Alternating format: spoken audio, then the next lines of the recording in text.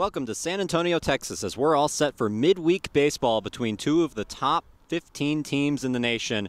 It's the ETBU Tigers and the Trinity Tigers. As for Trinity, Carter Aldman is on the mound as we get things going with ball one. You see the ERA on your screen, a whopping 54, but that's only through not even an inning, Luke. Yeah, he's made a couple of appearances on the season for these Trinity Tigers. And you can see there just one out recorded in those two outings. Getting the start here off of a game last night in Austin, Texas. Trinity coming off a loss against the Concordia University Tornadoes. A big question coming into today how the Tigers are going to use their resources from their pitching staff. So many guys throwing yesterday. Aldman gets the first crack at it as that's tapped foul makes it two and two. Yeah, and just continued changes to this pitching staff and bullpen as this season has continued along. You're right, coming off a game yesterday where quite a few arms were used, and then of course these weekend series now as these Trinity Tigers are into conference play, having started this past weekend against the University of Southwestern some arms in that rotation that have been in and out over the course of the season, some expected starters that haven't been able to go for Trinity. Certainly has changed the staff and the approach in these midweek games as well. Now a 3 2 count to Massimini, and he loses him, the leadoff man, aboard with a walk as Connor Massimini takes first base. Yeah, not the start you want to see from Carter Altman on the mound, especially considering the aggressiveness and the offensive capacity of this ETBU squad. Wouldn't be shocked to see Massimini on the move very quickly here in San Antonio. Now he faces the number two hitter, Evangelista. Working with nobody out and a runner on first. Squares up to bunt, but the play blown dead. And it looks like they call a balk as Massimini takes second. And perhaps the early square from Evangelista right there, getting into the head of Aldman just a tad, as he certainly had a little extra movement before he made that delivery home. Another freebie handed out to this Tiger team. Tiger counterparts, I should say. And all of a sudden, now a runner in scoring position. Yes, two Tigers playing in this game, ETBU and Trinity. Two teams growing increasingly familiar with each other, as we'll get into that as the broadcast continues. Still nobody out. Runner on second is Massimini, who you see in your frame, as that's fouled off. It's ETBU lineup filled with plenty of good hitters. Jacob Evangelista, one of them. However, he's very dangerous if he gets on base. Second in the country in stolen bases with over 20 already. As an early meeting from Dave Smith and the catcher Matthias Riding. Yeah, and interesting to see it after Aldman comes back and starts this at bat off by getting ahead. Evangelista being able to foul that pitch off. I think certainly some nerves that have to be going through the mind of the Trinity pitcher on the mound right now. First start of this year, only his third appearance now. Realistically, kind of at the midway point of things said for the longest time, early portion of this season, but how this year has already flown by as this weekend they'll head into their second conference affair of the season. Things continuing to be worked through here in San Antonio realistically from this pitching perspective. Yeah, Dave Smith talked about how this schedule is going to be so taxing on the pitching staff. You think about back to back games midweek games where you're using most of your high leverage arms throughout the weekend. Not a lot of room for error on Tuesday, especially on Wednesday as Aldman fires strike one, or strike two, I should say. Yeah, more than anything, considering the balk that happened after the first batter reached, I think Coach Smith venturing out there trying to settle the nerves just a little bit, redirect the focus back to the batter in the box outside makes it one and two. Evangelista making his 19th start of the season. He's hitting 306 on the year. as are so many of these Tigers in the ETBU lineup. Pitch outside evens the count at two apiece.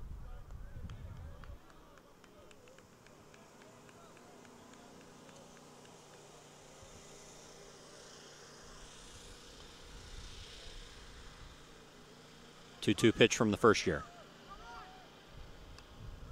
Fouled off, and Evangelista stays alive. Yeah, and Evangelista doing a nice job in this at bat, watching a couple of pitches. Ahldeman seemingly made them rather competitive, but certainly a lot of experience in this ETBU lineup. We're going to see it. A lot of familiar names for Tiger fans who have followed this team for the last several seasons. In there, strike three.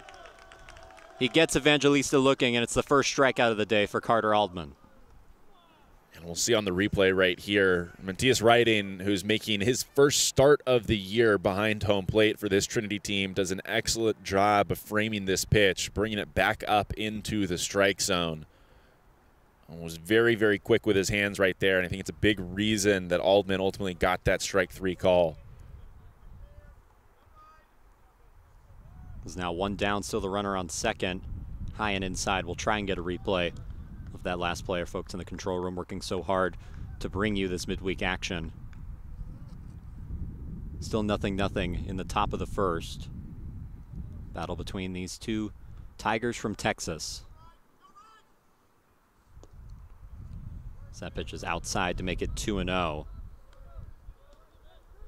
It's Landon Durden in the batter's box, and you see the replay of that strike three call there. Exactly what you were saying, Luke, the frame job, able to bring it back into the zone to collect the first out. Yeah, just so quick with that hand, going down with the glove and then snapping it up right as he receives it. And that hit him. So Durden takes first, and now two runners aboard with only one down for ETBU. And it was a nice job from Ahldeman settling in against Evangelista to get the strikeout. Certainly there against a three-hole hitter with a runner in scoring position.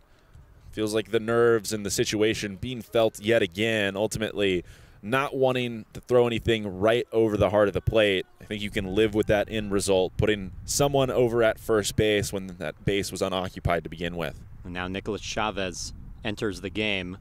An opportunity for ETBU to take the early lead. Foul tip into the catcher's glove, strike one. Nice to see Ahldeman come right back at Chavez here in this four hole, especially with that double play ball intact.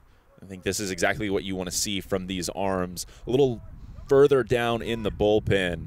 Come in, throw a lot of strikes, be willing to pitch to contact. Runner goes, but it's fouled off. As ETBU tried to pull the double steal, they'll have to go back. But two runners aboard working with a very hot hitter in Nicholas Chavez hitting cleanup today. Coming off a weekend that saw him hit two home runs in the same game against Howard Payne in a series that ETBU won in conference play. Yeah, two in that series, five on the season, so certainly a lot of pop in the bat. Runners go, and the pitch gets away, so they would have taken those bases anyways. Now two in scoring position for East, Te East Texas Baptist. And a couple of pitches ago, you call out the double steal attempt, but also Chavez swinging at that, sending it the other direction. Perhaps a hit and run that gets taken out of the equation right there, considering how badly that pitch missed up in the zone.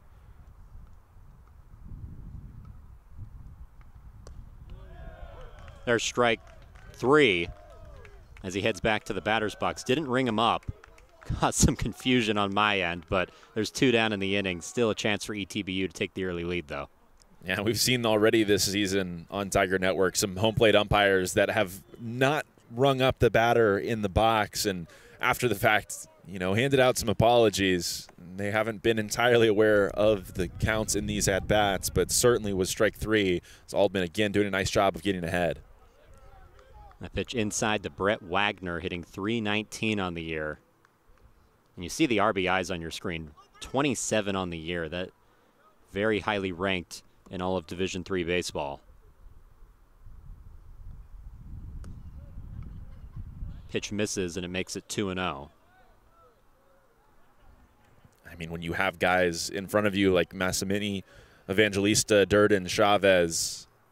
There's typically a lot of traffic on the base paths, especially when you add in Evangelista's ability to steal some bags. A lot of speed on the base paths for ETBU. Aldman trying to avoid giving up that early damage. He's had traffic pretty much all inning long and runner in scoring position on top of that. Wagner hitting 320 on the season. Swing and a miss. That evens the count at two and two. And a really pretty breaking ball right here from Aldman. Not something that we've seen very frequently in this inning, but certainly had Wagner well out ahead of it. Now a 2 2 pitch with two down. Misses and a full count. Yeah, looked like a similar pitch, maybe another breaking ball, this time finishing down. An easier job for Wagner to recognize that one. Two runners aboard, one by way of a walk, the other a hit by pitch. Outside ball four, it gets away, but Riding gets on top of it and holds the runner at third, so that'll juice the bases. Riding doing a nice job to scramble to that one quickly. Got a lot of leather on it, so he did just enough to keep it within reach. Massimini being forced to stay over there at third, but you're right. Now these bases loaded. Aldman continuing in a high pressure situation in the first. Pitch outside.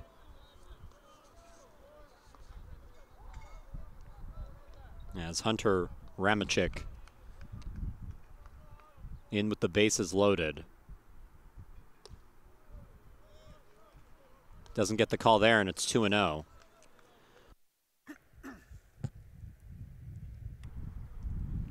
And we're going to have a meeting. We'll see if it's a change. And it is. That'll be the day for Carter Aldman. He leaves the game with the bases loaded, still in the top of the first, as we'll get back to San Antonio after the change.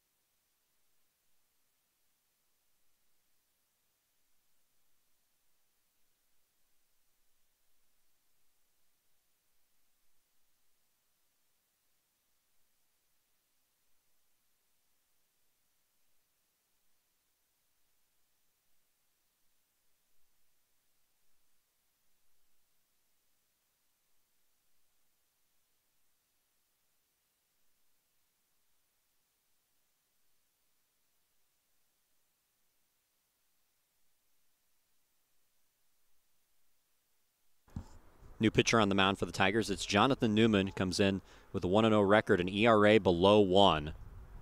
He's been one of the best relievers out of the pen this season for the Tigers, and he gets an opportunity here. Swing and a miss, strike one. Makes it 2 and 1 as the change was made mid at bat. Rumachik certainly anticipating fastball in the zone right there, just couldn't quite catch up to it. Outside 3 and 1. You know, we've seen in the last few weeks pitchers get put in to 2-0 situations. We saw it yesterday as well, and then Joseph Shavana over the weekend. We'll see how that impacts Newman working 3-1. Strike two to make it a full count. Yeah, it's been successful and unsuccessful for these Tiger arms. You know, Will Helling's one of the relievers that's come into those situations. Swing and a miss, strike three. Newman gets the out and he's fired up. ETBU leaves them loaded and it's still nothing nothing mid first.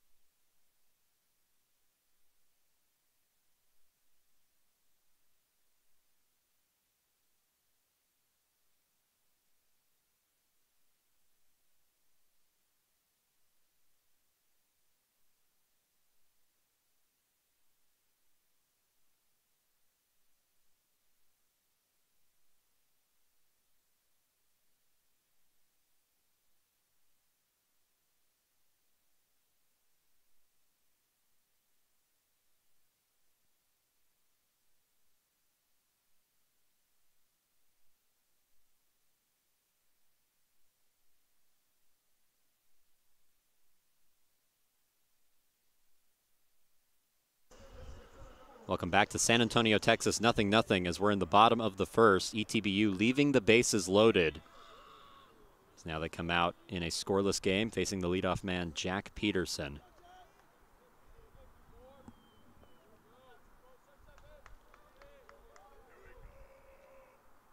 First pitch, inside for strike one.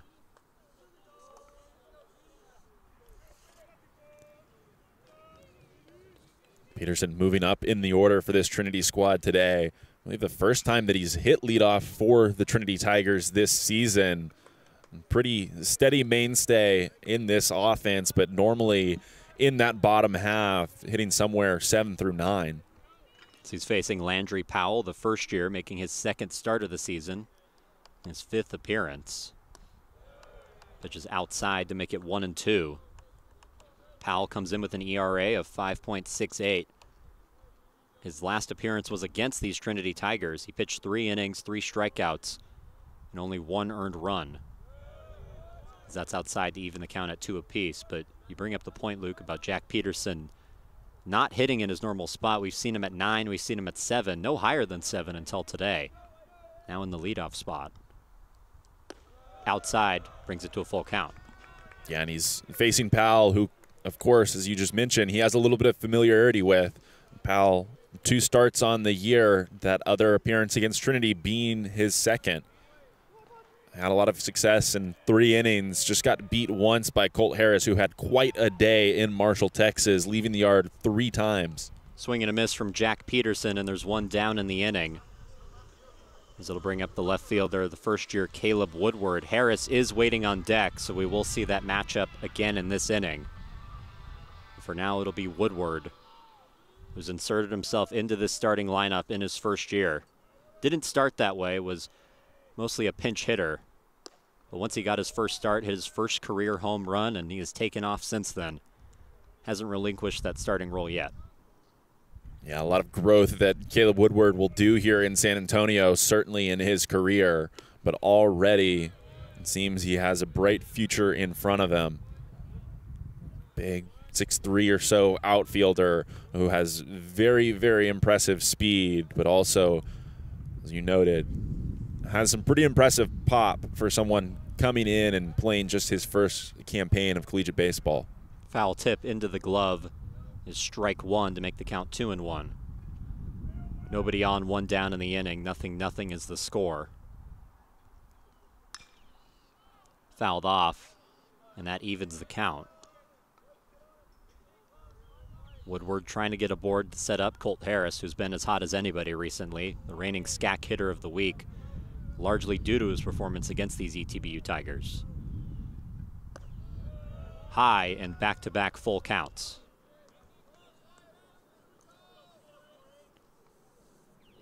And Powell doing a nice job against Peterson to get the job done. Trinity using these left-handers at the top of the lineup. First time around didn't work out for him, however. And he loses him ball four, and Woodward's aboard. He heads to first base. This time it does. Woodward doing a nice job. You, After Powell came back to load that one up, make it a competitive at bat. Getting a base runner here for Trinity in the home half of the first inning. And as you mentioned, an opportunity to get one of the Tigers' hottest hitters into the batter's box. Woodward goes on the first pitch, but Harris swings and fouls it off out of play. So Woodward has to make the 90 foot walk back. Of course, talking about the pop in Colt Harris's bat, I have to mention overcast day here in San Antonio. The flags are flying out to dead center field. As he takes strike two, Harris hitting 320 on the year, a 620 slugging percentage. So he's been one of the most impressive Tiger hitters on the season. Also has four home runs, three of them in that one game, as you said earlier. Now an 0-2 count. Woodward goes again, no throw, and he slides into second safely, a stolen base for Caleb Woodward. Yeah, not a great pitch for Chavez to throw on behind home plate right there. Breaking ball on the outside, which I'm sure he likes, but finishes a little low. Would have had to throw from his knees and ultimately a little bit too much speed in Caleb Woodward. Harris ahead one or down one and two, I should say. Pops that up and out of play. So we'll do it again at one and two. Colt Harris showing some real fight here in the three hole. Getting the little bit of promotion here today. Normally that six spot in this Trinity offense, but team that has struggled in their last two outings to generate runs and hits in general needs his help right here. Fouled back near us. And we'll do it again, still one and two. For those of you who don't know, our usual setup in the classroom across from where our control room is, not at the field. Today we are at the field, working from the top of the Bell Center, I believe right over Calgaard Gym. So we're getting to see the action firsthand as that pitch barely misses outside to make it two and two. Yeah, really good pitch from Powell right here. From our vantage point, looked like it was a tighter breaking ball that finishes down and away to the right-handed Harris. Very good spot, very competitive miss. Just couldn't get Harris to start his hands and couldn't persuade the home plate umpire either. 2 2 pitch with Woodward on second. Inside. And 3 and 2 once again. Three hitters, three full counts worked by these Tigers. And exactly what you want to do as an offense in the early portion of a game, forcing Powell to throw a lot of pitches, giving a good opportunity these guys standing waiting on the on deck circle to see exactly what he has. High, ball four, back to back walks for Trinity, and they have two aboard with one down. And of course, a strikeout to start the game. Not exactly what you want to see, but still a quality plate appearance to start things off from Jack Peterson. And I'm sure it's lent a little bit of a hand to Woodward and Harris, who both come up are willing to stand in there and see some pitches. And obviously, it's paid dividends now as Trinity has something going seemingly in the home half. It's now Alex Monson, the DH up. Saw on your screen, Monson an OPS over a thousand. Hasn't gotten in a lot, as that's called strike one, but did leave the yard two weekends ago against UT Dallas, a game the Tigers ended up winning on a Sunday. That's his only home run of the year. Now working with one out and runners on first and second.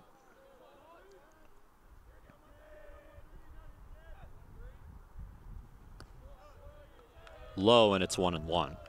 Yeah, another left-handed bat that gets his name called here in San Antonio, trying to find whatever advantages offensively Trinity Tigers are against a right-handed arm and Powell on the mound.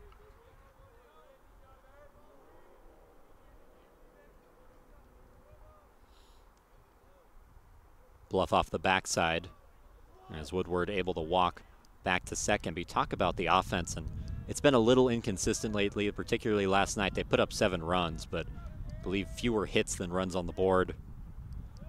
They had a 5-2 lead, just couldn't get anything going as Monson fouls that back to make it 1 and 2. Ended up losing that game 8 to 7.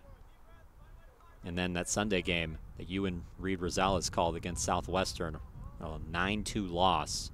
Just nothing going offensively lately. Yeah, and in that 9-2 loss, I think it was 10 runners left on base, if not even more than that. Hit in the air to shallow left and the catch is made for out number two as Monson is retired.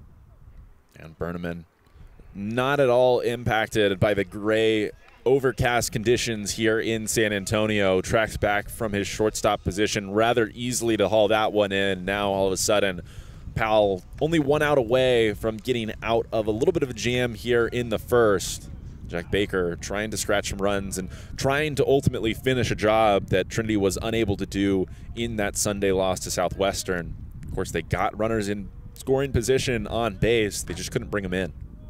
Two down, two on as Baker takes strike one.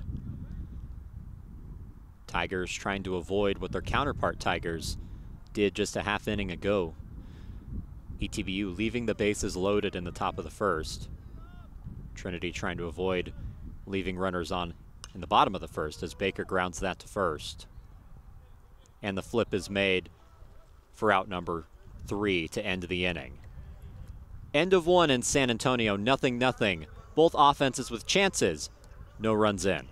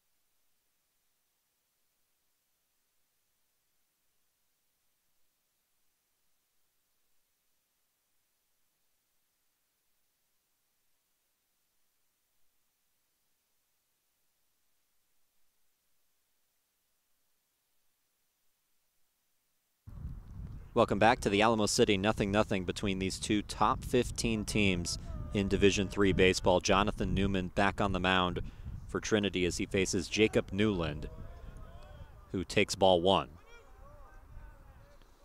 Newland a first year hitting 286 on the season. This is his fourth appearance of the year.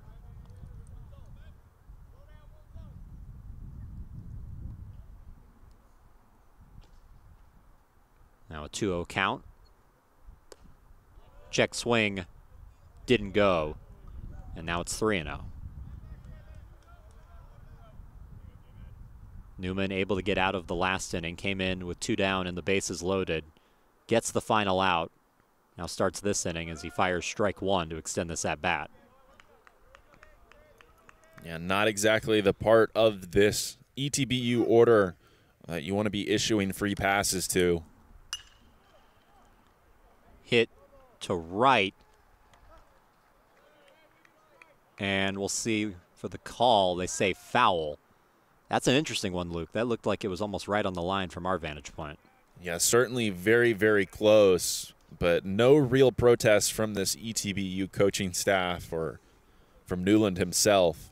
Walks back to the batter's box right now, and Newman has done a nice job in this at bat of at least getting it back to this full count situation not making it an easy opportunity for ETBU to get another leadoff runner on. Low ball four. So Newman battles back to a full count but can't finish the job. And the leadoff man aboard for the Tigers. Yeah, now opens the door for the possibility that you're going to have to see the top of this order again just in the second inning. Barring a double play ball in the middle of the infield, it's likely what's going to happen and what will await Newman in this inning. As Newman fires strike one. That's Cameron French, the graduate student. French hitting 333 on the season as he works with a runner on first and fouls it off to make it 0 2. Good response by Newman right here, coming right at French after issuing that free pass. Big spot. Hopefully, come away with a strikeout, especially here. 0 2 in the count. Don't want to give him anything too good to hit. Need to remain competitive right around the zone. Way outside. Good job by Riding to get his glove on that one and keep the runner at first. So that brings the count to one and two. Cameron French from Schoolcraft, Michigan, one of the few members of this ETBU team that isn't from the state of Texas. So we've seen Luke, Division three baseball can be a very local thing. A lot of Texans on this Trinity roster as well. It's always good to see somebody from far away. As that's grounded third base side. Tinker makes the throw in time. The runner advances, and there's one down in the inning. And effectively a swinging bunt from French right there, well out in front of this pitch from Jonathan Newman. You see it go off the end of his bat. Just not enough pace on it. Kai Tinker, only play he has is over at first base in the infield. Gets a job done of at least moving a runner over and, of course, takes off the board the potential for a double play. That's grounded to short. Baker swallows it and throws to first for out number two as Berneman, the nine hole hitter, is retired. Yeah, nice cut from Berneman in this situation right here. Comes up and more or less barrels this baseball, breaking ball that's up in the zone. It had just enough movement on it, however, to force him just over the top of it. Unfortunately for him, it was hit right at Jack Baker, sure-handed shortstop for Trinity this season. An easy enough play for out number two. Hit to left. Diving. And the catch made in left field. Caleb Woodward lays out and takes away a run to end the inning.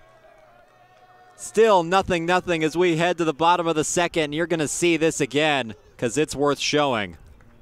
Yeah, off the bat here, it felt like that one was getting down without question. Caleb Woodward getting there very quickly. Third base coach from ETBU on the field asking the field umpire to have a conversation at least with home plate. They're discussing right now. It's hard to imagine they're going to be able to overturn it. And they uphold the call. The fist is up, and the half inning is over. Robbery from Caleb Woodward. You'll see it again here.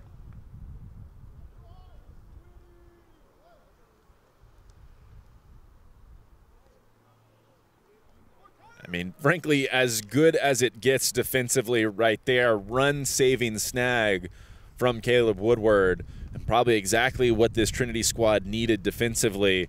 Hopefully, it inserts a little bit of juice in the bats on the other side of things. We'll see if it does when we come back for the bottom of the second, nothing, nothing between the two Tigers of Texas.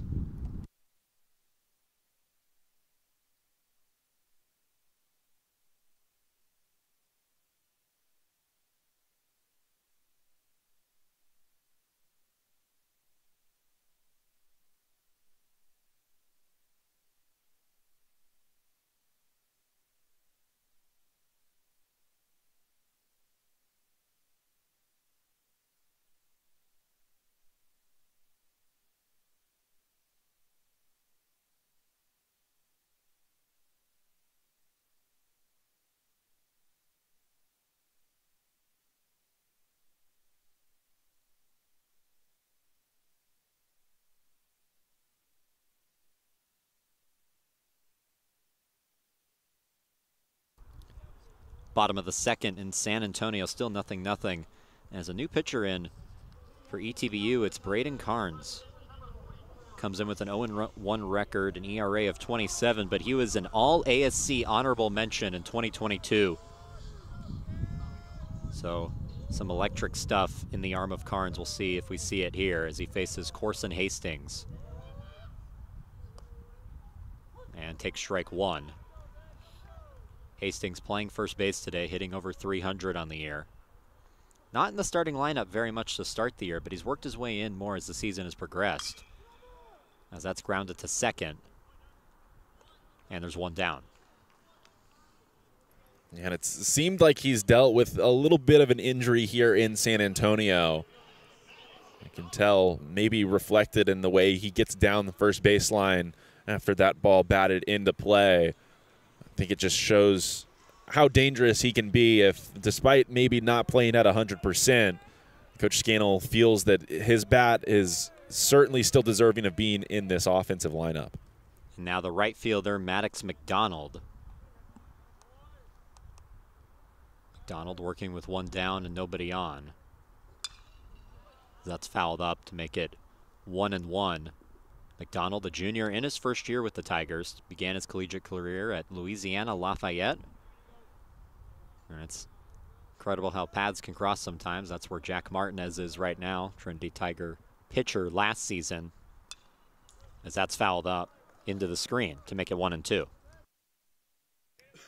Yeah, effectively just a trade that took place, and I think both parties have to be satisfied. McDonald, outfielder here in San Antonio, who has certainly made his presence felt with his speed. That's high to make it two and two. See McDonald be a versatile player. Able to bunt, move people over, and do that as he hits it up the middle. As McDonald is aboard with a one out knock. And very solid contact from Maddox McDonald right there, taking that one and shooting it right back up the middle past Carnes. Doesn't have to quite get out of the way, but still almost a heat seeker right back at the pitcher good to see from Maddox McDonald, of course, for the purpose of him being over there at first base and providing some immediate offense, but also not something that we've seen him do all that frequently here in San Antonio this season, barreled baseballs. As McDonald was often running, that's fouled off by the catcher Matthias Riding. This is the first game that Nick Lazera has not caught all year. As the Tigers working on a back-to-back -back in the middle of the week, Lazera gets the day off and Riding takes his place in the lineup.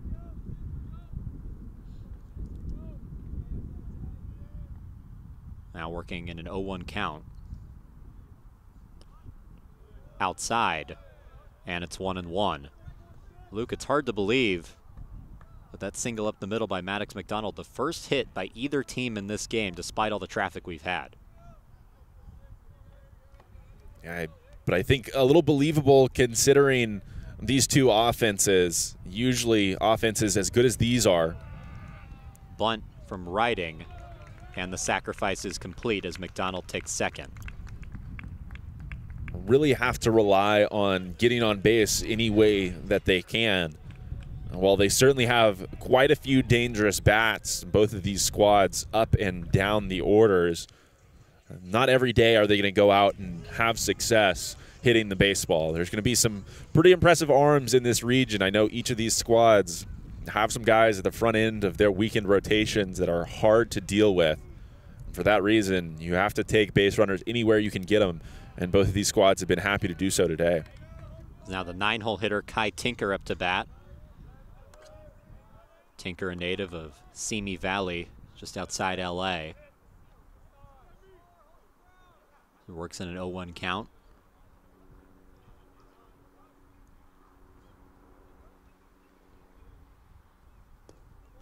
outside one and one. So McDonald able to take second base on the sacrifice bunt. This means that of the four half innings we've had, a runner has reached scoring position in all four. Still nobody has brought anyone home. Throw off the backside. That's in time. McDonald picked off to end the inning. A good play from ETBU takes us to the top of the third. Still nothing nothing in San Antonio.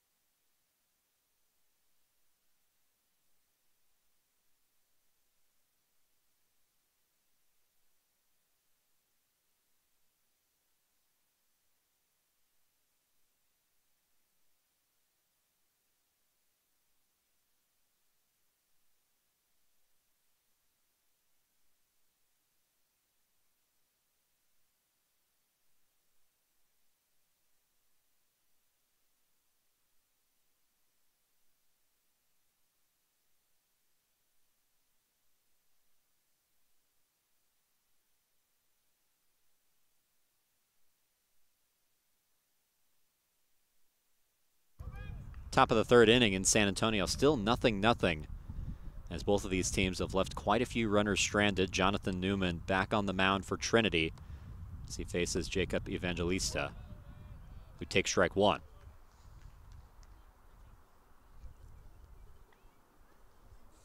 Evangelista 0 for 1. He struck out swinging. That was against Carter Aldman, who started this game. So pitch is outside to make it one apiece. As Luke, the Tigers are just going to try and cobble something together pitching wise. They threw a lot of arms yesterday, a lot of their guys that would normally go in this midweek situation. Let's, we'll see what kind of product that they put out there today. Yeah, and you rattled off Jonathan Newman's stats earlier in the game as soon as he came on to the mound for Trinity. And of course, certainly one of the better arms in relief. You just have to wonder how long is he going to be able to go with that weekend series pending in conference play for Trinity. Tigers sandwiching this game and a game yesterday against Concordia. In between conference play, Southwestern last weekend, they'll head up to Schreiner this weekend. As that's located for strike three, Evangelista can't believe it, but he heads back to the dugout without number one. Yeah, not too happy about this one, but just a perfectly placed breaking ball right there. And finishes riding a little bit outside in that left-handed batter's box. I think the home plate umpire rewarding Newman for the break on that baseball. Hit up the middle, and the first hit of the game for ETBU with one down. It belongs to Durden. This time, Newman not going to get away with what's essentially the same exact pitch. Maybe a little conversation between Evangelista and Durden as he was walking into the box. Now so, Nicholas Chavez into the batter's box. After that pitch, Newman signaling to his young catcher behind the plate, move further to the batter's box next time around, especially in the middle of this order. Two dangerous hitters to put anything that close. Chavez 0 for 1 today. He struck out looking the last time he was up. As he takes ball one. You'd think that would be the one benefit of this being a bullpen game for the Tigers, maybe not leaving guys in long enough to figure them out.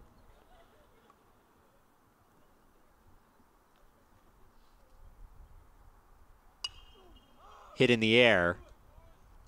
We'll see if it's playable. It is, and the catch is made by Hastings for out number two. Yeah, and off the bat, I felt for sure like this one was going to get out of play, and then all of a sudden, kind of just died over there right behind first base. Hastings was getting over to that fencing in foul territory rather quickly, and then kind of had to course correct started heading backwards. Always dangerous when you're drifting backwards, but ultimately able to haul that one in. And looks like maybe the damage on that base hit not going to come to fruition. Runner goes, throw from Riding high. And in time! Riding guns him down, and that ends the inning. So back to back half innings ended with a runner gunned down at second base as we head to the bottom of the third, still nothing, nothing.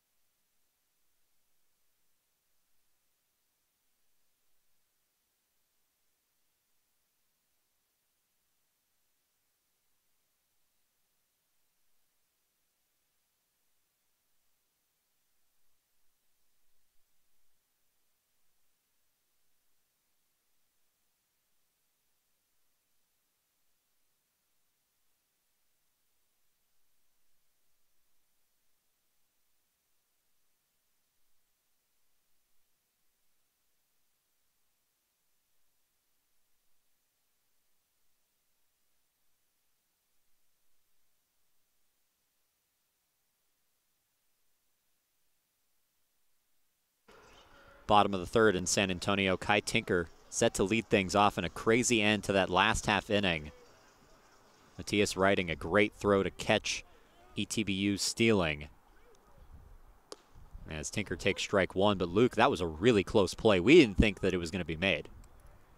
Yeah, I got a couple looks at the replay while we were away during the break. It certainly looked like Durden was in there really right at the bag. Not sure if he didn't get hands on it, what the circumstances happened to be. One way or another, a very strong throw from Riding behind the plate against a guy that had quite a jump on the base paths on that delivery. Now you saw it on the replay. There's a little bit of an indent in the green right before second base. Durden was about there when the throw got to Harris. As Harris fouls that back to stay, or as I should sorry, Tinker fouls that back to stay alive. Harris able to wrangle in the high throw on that stolen base attempt and apply the tag. Hit in the air to center. And the catch is made in the outfield grass for out number one. Yeah, and it's Durden out there at second base who hauls that one in. Again, slightly tough conditions in San Antonio today between the overcast gray skies here and the flags that are now blowing out pretty heartily in center field. That ball just kept drifting. Again, a couple of pop ups that we've seen be affected by the wind in the last half inning plus. Peterson takes strike one. You see the numbers on your screen. Hitting 286 on the year, OPS well over a thousand now. Hit up the middle, a base knock. A one out hit for Peterson. He's thinking about two, but he'll stay at first, content with a single. Yeah, I think I would have about lost my mind if Jack Peterson tried to stretch that one into a double. Pretty routine base hit right back up the middle. Not a gapper or anything of that variety. Certainly a lot of aggression because he has a lot of speed on the base paths, but likely better served to try and run, although it wasn't a great idea in the last time that he played East Texas Baptist, thrown out for only the second time in his career, the first time in what was 30 plus attempts between caught stealings.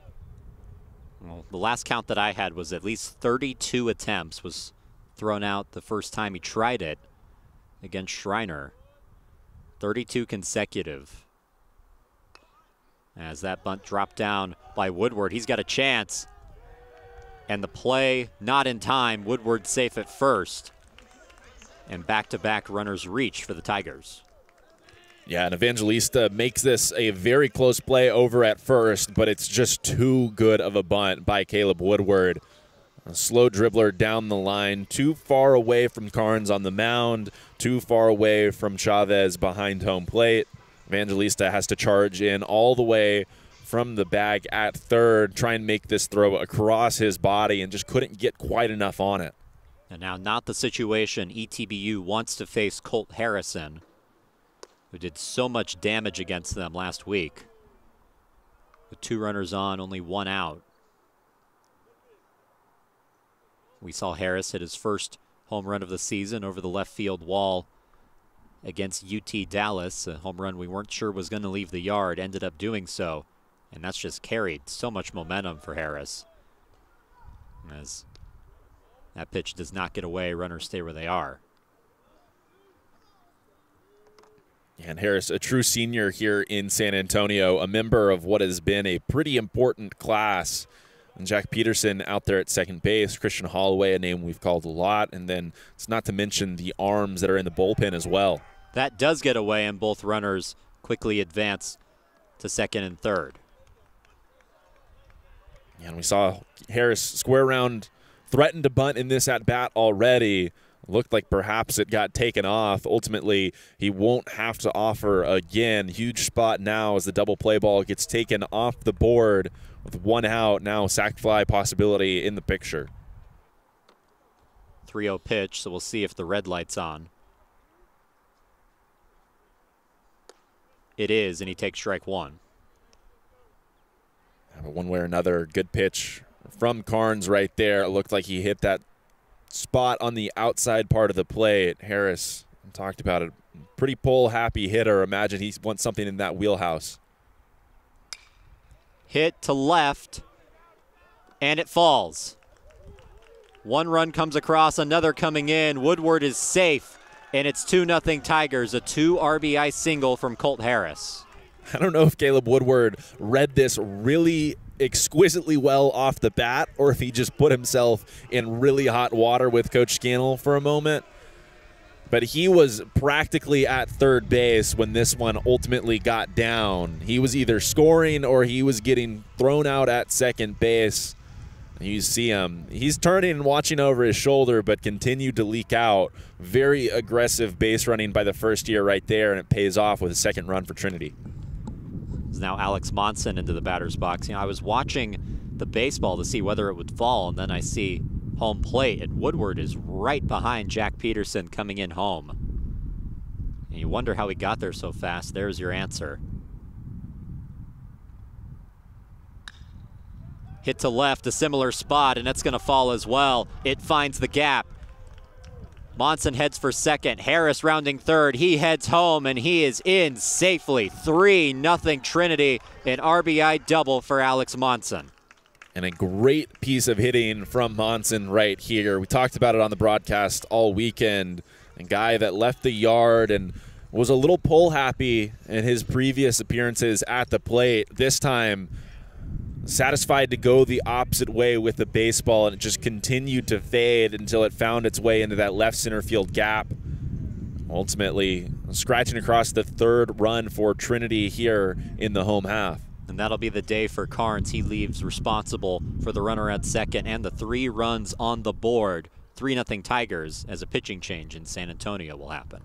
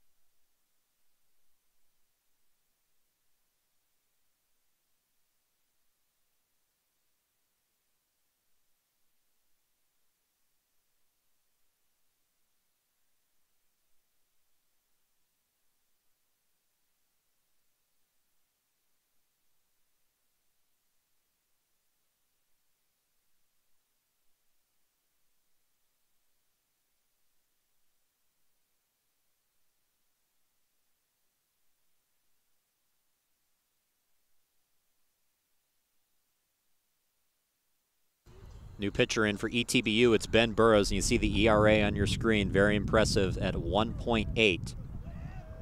Whip at 1.2 as he faces Baker, who's 0 for 1 today, and takes strike one. Yeah, good way to get ahead using that breaking ball that he drops in right on the hands of Baker, who I'm sure is pretty narrowly expecting fastball right there takes ball one outside to even the count. This inning still not done. Only one out recorded for ETBU. Still a runner on second. A chance for Trinity to add on. And you would think they're going to need it. ETBU quite prolific offensively. Good pitch, no call. And it's two and one. Yeah, and maybe not the absolute slugfest that you would imagine between these two the last time out. But both of these offenses proving that they were certainly capable in that one. A little back and forth offensive action. These two played in Marshall. Hit to left. Monson gets the red light. He stays at third. And Baker puts runners at the corners, still only one down in the inning. And really, the last two times up, right-handed hitters that is in the batter's box ETBU has shown what they anticipate from this Trinity offense over there at first base for the Tiger counterparts. Rumacek, he's playing really far off that bag. I think it's because this Trinity team has been so pull happy. Baker proves that no matter where you shade in the infield, it's really not going to pay off. Really hard hit ball through the left side that time. Tigers finding a way to collect hits in this inning, and Corson Hastings, the first baseman, will try to continue the trend. Hit to left, playable. Monson tags after the catch and scores easily to make it 4 0. Sacrifice fly for Corson Hastings, and the Tigers extend the lead. Yeah, and it's Newland out there in left field for ETBU who gets to this ball or this spot in a hurry, but ultimately kind of puts himself right under it, doesn't run through it, couldn't quite get exactly what he wanted on this baseball on the throw in. It had to be cut. And then you're right. Before that reason, Monson scores easily from third when otherwise they might have a chance to gun him down at the plate. Baker goes, and he's going to be able to take an extra base because of it. Or no, he won't. Either way, Milligan puts that into left, and there's two Tigers aboard. Yeah, I'm not sure that this one is not going to get down one way or another. Milligan not getting a great piece of this baseball, a little bit off the end of the bat. Actually, now seeing the replay, I imagine that it probably doesn't get down if the hit and run isn't on right there. Berneman moving over from shortstop, and it looks like that one certainly would have been right in his vicinity had he not been trying – to apply a tag at second base that ultimately never came. Now the catcher Matthias Riding up. Should be noted, Milligan a pinch hitter in this game. It was Maddox McDonald that started it. He had a base hit up the middle. That was the first hit of this game. Milligan getting a hit in his own right. He's at first. Baker waiting at second. Still an opportunity for Riding with two outs and two on.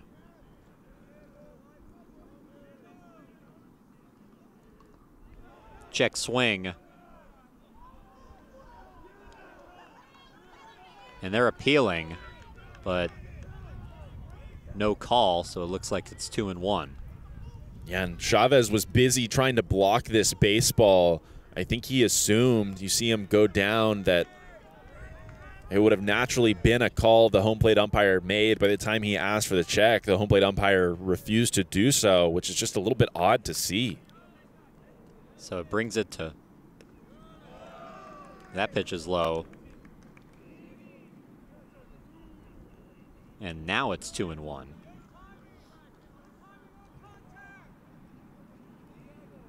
Or now it's three and one. It was right before.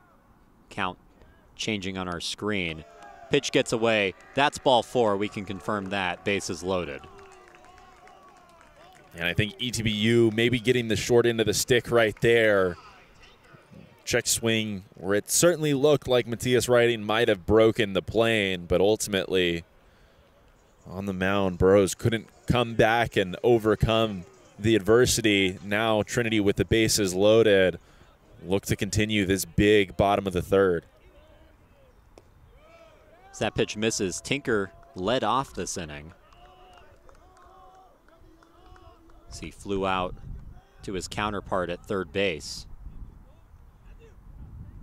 But from there, the Tigers able to put four runs on the board. They have them loaded in a position to do more damage. Hit in the air to shallow center. And the catch is made to end the inning.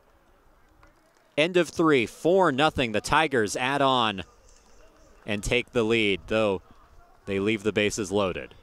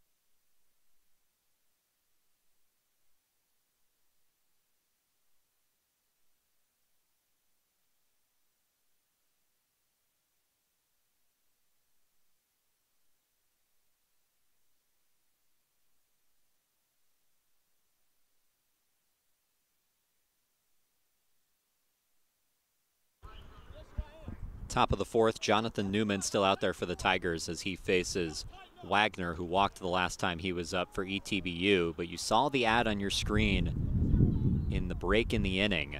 A total eclipse coming to San Antonio. San Antonio, at least part of it, is pat in the path of totality. So unique opportunity for students here at Trinity University to see something that you don't see very often. That pitch misses to make it one and one. Yeah, should be an interesting day here. I know there's a lot planned at the university, and certainly want to highlight that as much as possible. Swing and a miss, and it's one and two. Should be noted the campus of Trinity not completely in the path of totality, so there is a, basically a plan. You get transportation, there's a meal provided where you get to go to a ranch that is in the path of totality, where it should get essentially completely dark as that pitch misses to make it two and two.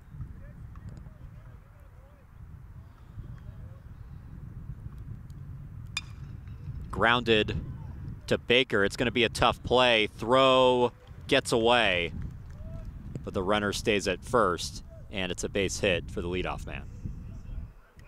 Yeah, you're right. Tough play might be a bit of an understatement on this one so hard hit that Tinker can't cut it off from his spot at third base. He's having a conversation with the dugout right now as to whether or not he should be diving for that one. Because otherwise, Baker did exactly what he needs to, works around it so that he can work through it and get a little bit of extra momentum behind his throw over to first. But even then, nothing that he could do with an outfielder and Wagner running on that one. So Brett Wagner at first, and now Hunter Rumacek in trying to bring him over. Nobody out, runner on first. As it's an 0-1 pitch, they'll check on Wagner, who gets back safely. Trinity opening up a 4-0 lead in the bottom of the third. Jonathan Newman and the rest of this pen trying to hang on to it. And while this Trinity bullpen shown at times that it can be completely capable of hanging on to a lead like this. You'd think just with the opponent that they're playing, it could be a tough challenge just with four runs. Swing and a miss, it's strike two. Yeah, you have to imagine that one way or another, Trinity is going to need some more run support. ETBU, a team that's almost certainly not going to be held scoreless here in San Antonio, especially in a midweek game where there's going to be more arms coming out of the bullpen. Jonathan Newman certainly has established himself positively in this game, but again, have to question how long is the leash going to be for one of your best relievers? One two pitch in the dirt, Riding keeps it in front of him, and it's two and two.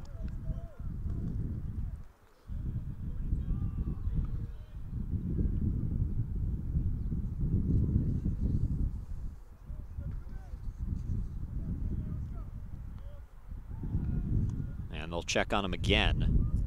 Understandably, Wagner has stolen seven bases this season. He has been caught once. But still an ETBU team that likes to steal as a whole. And there's strike three. Another strikeout for Jonathan Newman. And there's one down in the inning.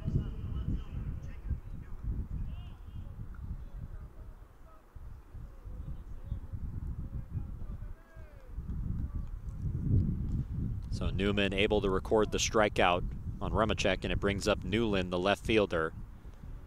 Newland walked the last time he was up. Runner goes, swinging a miss, strike one, throw.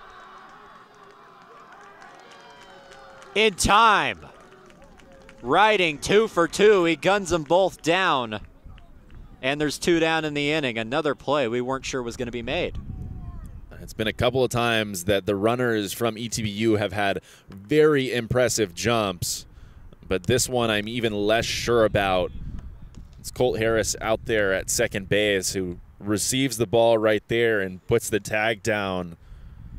But it looked like Wagner, who had just shown off his speed on the base paths, maybe was starting to bend the legs a little bit as his front feet had hit the bag trying to slow himself down there, but not sure that the field umpire has gotten either of these calls right, to be honest with you. Yeah, you're right. That one, it looked like he was almost starting to stand up after his slide, hitting the bag, but the call made out. Obviously, no replay review in Division Three baseball. As that pitch just outside to make it three and two. Newland trying to replenish the base runner that ETBU just lost. And he does with ball four.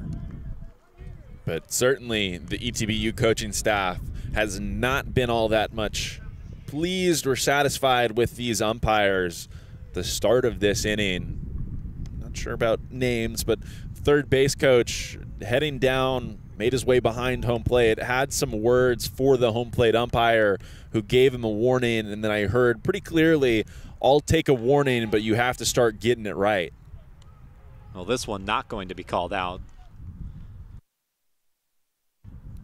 As the runner reaches second on the wild pitch. ETBU trying to claw into this deficit. They're getting out hit 7 to 2, outscored 4 to nothing.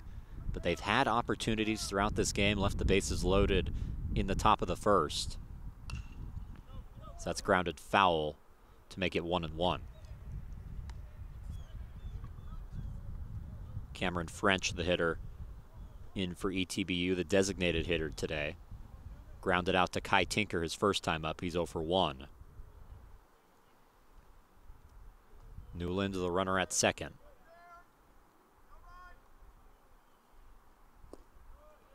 In the dirt, 2 and 1.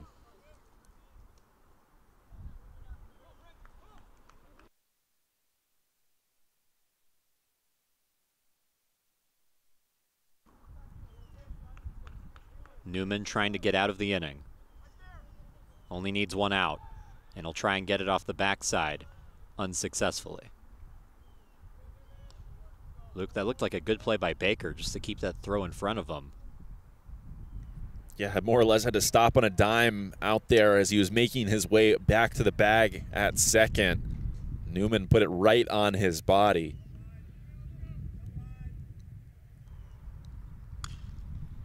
hit in the air to left and in the Tiger bullpen, no play for Woodward. Yeah, with the flags flying from right to left field here in San Antonio, that one just kept drifting off the bat. Looked like it might stay in fair territory, but not a whole lot of space down that left field line, especially closer to the corner. That bullpen fencing really just five or six feet off the foul line. So we've seen this in this ballpark, the wind continuing the shift in different directions, now blowing from right to left. It was blowing dead center just a few innings ago. It's kind of the luck of the draw when you're a batter in this ballpark. Can you get the wind to go in the right direction to help guide the ball? That pitch misses to make it three and two.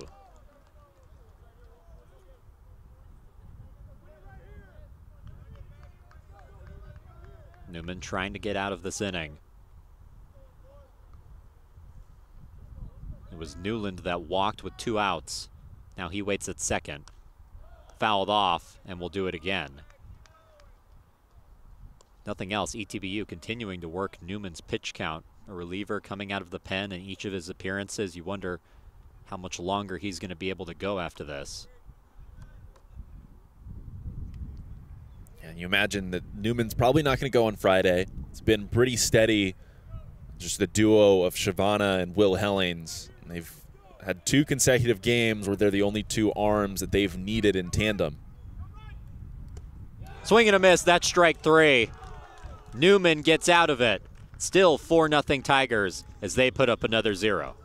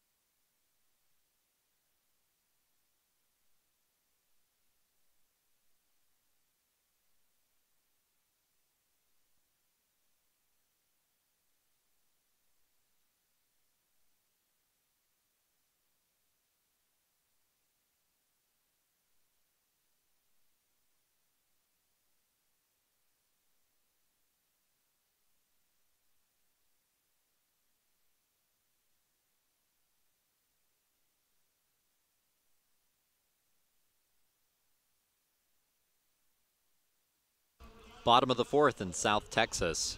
New arm in for ETBU. It's Preston Crow, who made his last appearance a week ago against these Trinity Tigers. Pitched one inning, two strikeouts, allowed an earned run, but ultimately collected the win in the 7 5 victory in Marshall. So he'll go against Jack Peterson, the leadoff man, to lead off this inning. And it's 0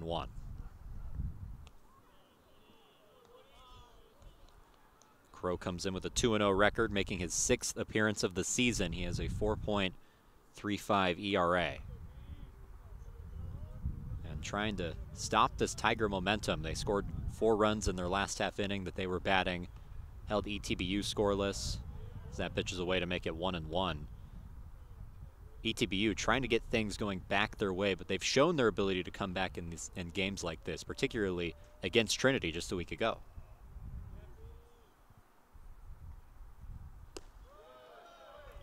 And we already talked about it once. That was certainly the back and forth affair that you would anticipate between two very highly ranked squads. ETBU had all the answers in that one. Still looking for some here today. They've tried to find it on the base paths, moving people over into scoring position. Of course, a couple of caught stealings, some very close calls that haven't gotten their way, some calls that we were uncertain about, but have actually received pretty damning confirmation that out on the base paths was Brett Wagner in the last half inning. Was starting to stand up like we talked about and hypothesized, but it was not because his foot was on the bag. He was just popping up before he got there somehow. As Peterson walks and he's aboard with nobody down, it'll bring up Caleb Woodward. But yeah, when I saw the photo, I was baffled because watching it live, and I'm sure many of the viewers felt the same way, that there is no way that that throw was in time, but it was. The foot not quite there as Woodward hits that through the gap. Peterson rounding second. He's going to head to third as Caleb Woodward puts runners at the corners. And not wasting any time right here are the Trinity Tigers trying to keep things going offensively, and they do a wonderful job. Baker, one way or another, who has so much speed on the base paths, gets a jump on this first delivery from Crow. Woodward jumps all over it, anticipating a fastball, something that's going to start him off in the zone. Does a nice job pulling that through the right side. Woodward goes and takes it. A stolen base for Caleb Woodward as there's no throw and two in scoring position with nobody out. That base hit means back-to-back -back singles for Caleb Woodward, and he's showing what a threat he can be on the base paths.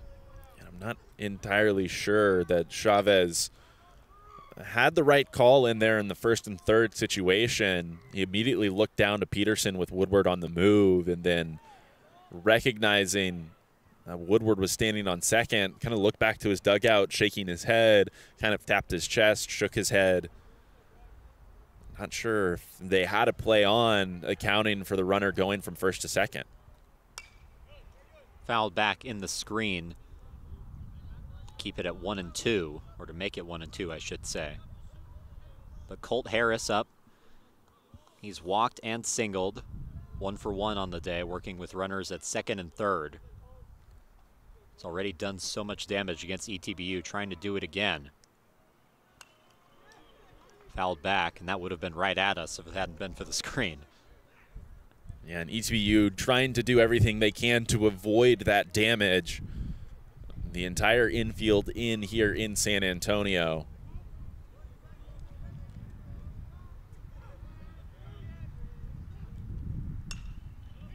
Hit to right, it falls. And that ball's going towards the corner. One runs in as Peterson scores. Woodward's in. Harris slides in safely at second base. And he collects his third RBI of the day. It's a double for Colt Harris. And not a particularly hard hit ball, but exactly what you need in this scenario. Put it in the air just over this infield that's playing in on the cutout of the grass quote unquote grass, I should say, given the turf here in San Antonio.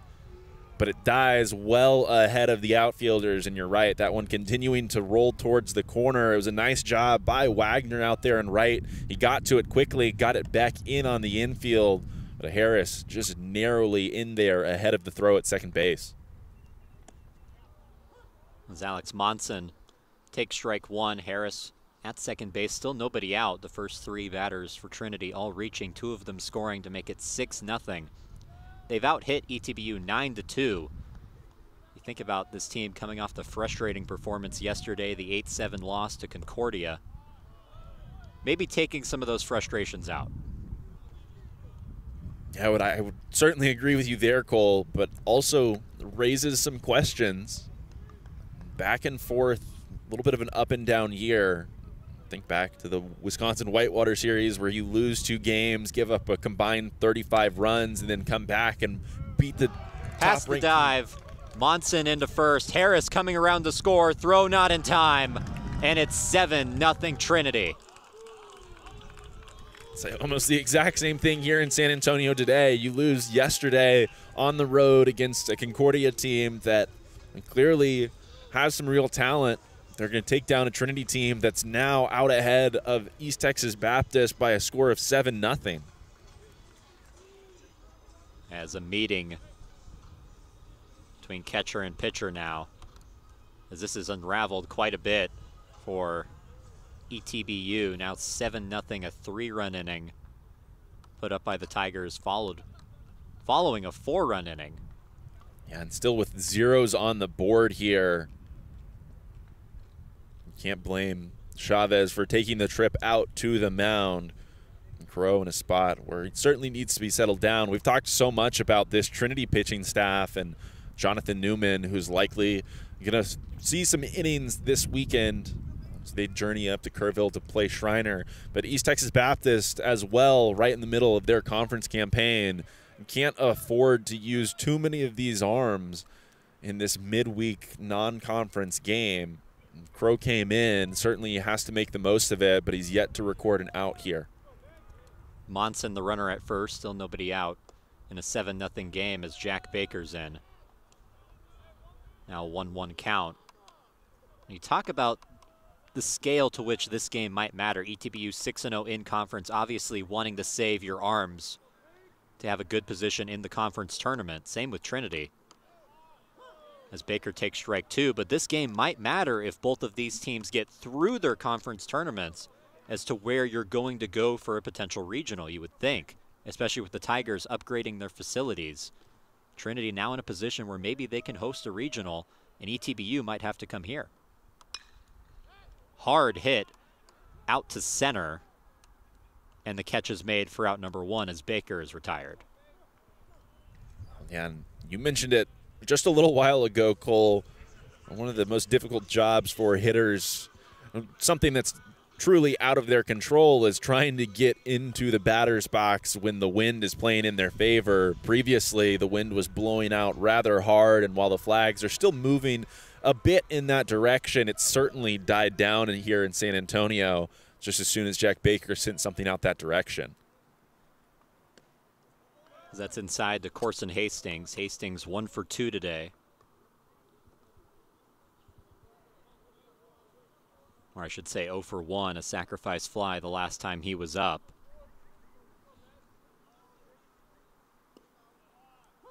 That's strike one to make it one and one. These two teams meeting in the regional last season came down to a final championship game, which ETBU took two to one, and that they took that momentum all the way to the College World Series. These two of the premier programs in Division Three baseball. And it goes back to what we were saying earlier about maybe the slight importance of this one. ETBU already taking one game from Trinity. Tigers trying to split the series. It puts an interesting decision for the committee for where these teams will go.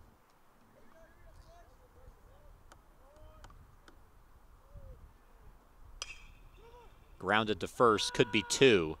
Throw to second for one, no play at first, but they do get the lead runner, and there's two down in the inning. Yeah, and more than anything on this play, it's a very, very nice job by Berneman over there at shortstop. He moves over and has to more or less take this one right off the ground. It was the right idea by Rumacek. Recognized they probably had a very good chance to get two with Corson Hastings running down that first base line. But Just a better decision by Berneman right there, taking that out at second, getting the lead runner, and making sure that they got at least that. As Max Milligan takes strike one.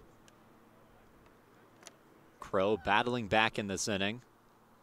Allowed the first three or four Trinity batters to reach, counting for three runs in this inning to make it 7 0 Tigers. As Milligan grounds that to first and takes it to the bag himself to end the inning. End of four in San Antonio. It's 7 0 Tigers as they've opened this thing to a large lead.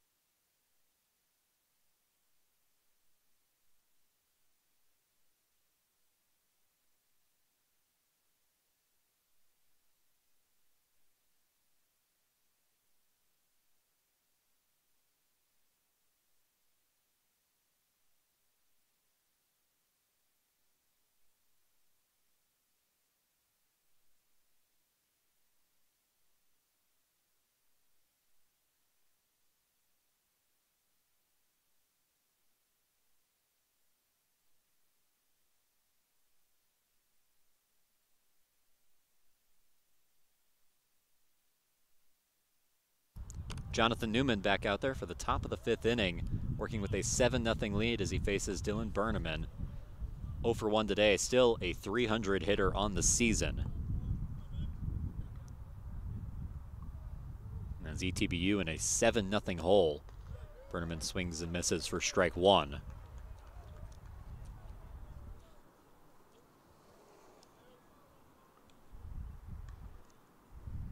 Newman continuing to work hit hard and into the Tiger bullpen for strike two.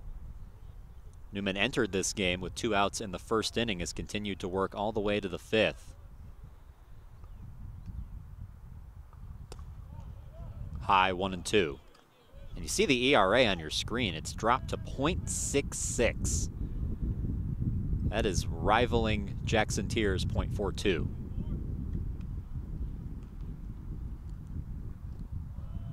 check swing two and two.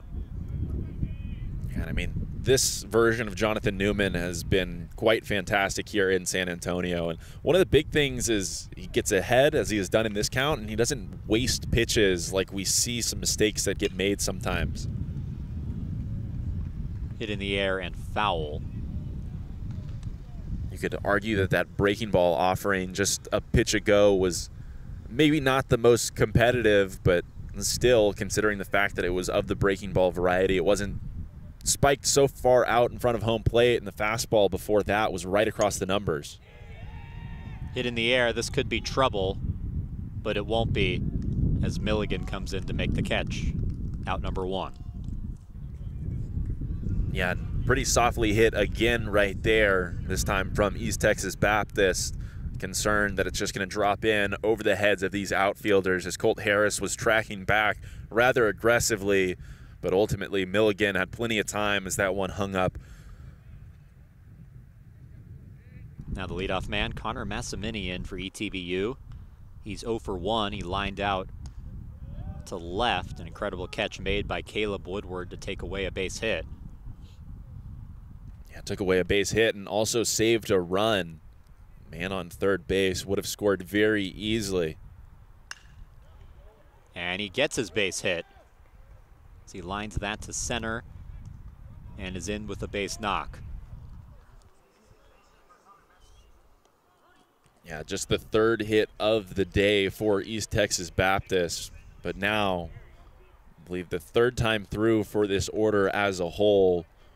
For some, still just their second time facing off against Jonathan Newman on the mound, but you have to imagine that they're settling into this game and eventually hitters as qualified and capable as these Tigers are, you're going to see that happen more and more frequently.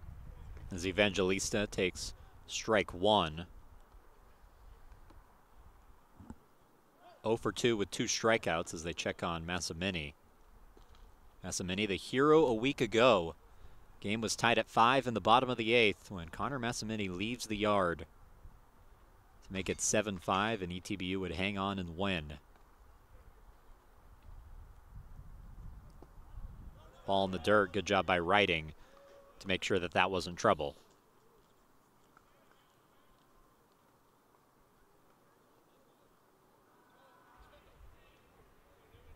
Wouldn't be so shocked to see Massimini on the move here in San Antonio. The aggression certainly has slowed because of the rulings on the base paths. Hit to left, the catch is made by Woodward, and there's two down. But as this is continued, imagine that there's going to have to be some sort of a spark. Another very hard hit ball off the bat of Evangelista right there. Unfortunately for him, it was just right at Woodward in left field. Usually, when the ball travels that far, it's not so much on a rope, but that one very much was. They'll check on Massimini at first. He's back safely. Landon Duran, the second baseman in the batter's box. He's reached both times, one of one. A base hit and a hit by pitch the first time he was up. Now works with two down and a runner on.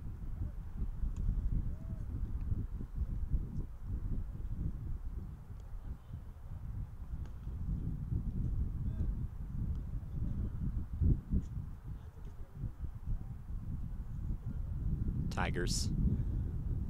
And the Tigers seeing each other for the second time in the span of a week as they'll check on Massimini again. As it's beginning to sprinkle here in San Antonio. I don't know if this is a sprinkle or a mist. What do you think?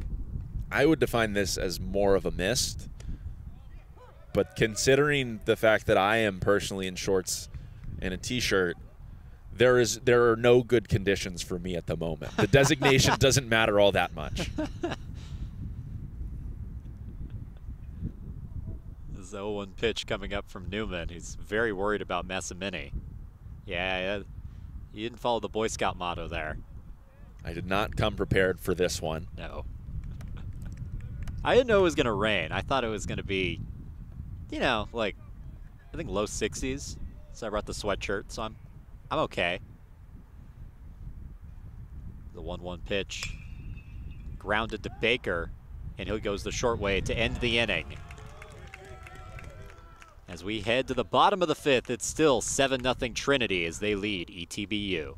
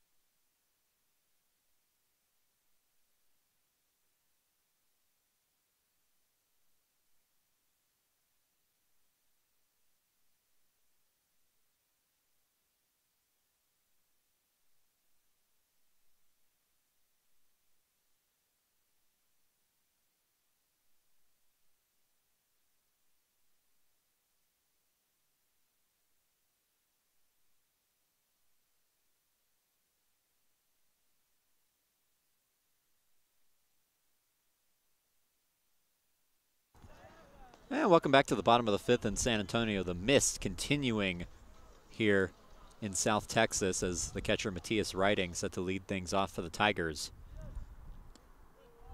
That pitch outside for ball one, a new arm in for ETBU. It's Matthew Irwin making his fifth appearance of the season, comes in with a 1-0 record and a 6.23 ERA as Matthias hits that one up the middle. Matthias Riding aboard with a base hit, and it's a leadoff knock for the Tigers. And what a performance from this offense today. Seemingly have had everything working for them, sending that one right back up the middle. Another leadoff runner aboard for Trinity as they look to continue the scoring trend that's been present in the last two half innings. Brings up the nine hole hitter, Kai Tinker. Tinker 0 for 2. He's flown out both times. And Chavez does a good job to keep that pitch in front of him. And Luke, the conditions not getting any better for you right now. It is more misting. I don't know if it's sprinkling yet, but there's more mist. Yeah, there is certainly more mist. I feel like overall it's been a damper on this game. Runner goes, throw high, not in time, and a stolen base for the catcher making his first career start. Yeah, not something that you're going to say very frequently at any baseball game at any level. Catcher, stolen base, first career start, sitting him very quickly there. Despite the wet conditions, getting down at second pretty, pretty easily. I think it's sprinkling now. I would classify this as sprinkling as that drops in for strike one. Tinker still ahead two and one. Yeah, this is gonna be storybook though. This is the this is the game we're never gonna forget. It seems that way. It seems that way.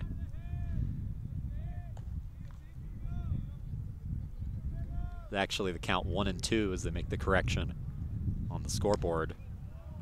Swing and a miss, strike three. Or maybe they had it right the first time. Nope. Tinker double checked. He wasn't sure either. But he does head back to the dugout as that's out number one. And Irwin doing a nice job, taking advantage of the opportunity to get an out against the nine hole hitter right there. It's exactly what he does. Gets ahead in the count and then goes up and in on the hands of Kai Tinker, who just can't quite catch up to that fastball. It's now the leadoff man, Jack Peterson, up. And that pitch way high and to the backstop, Riding takes third.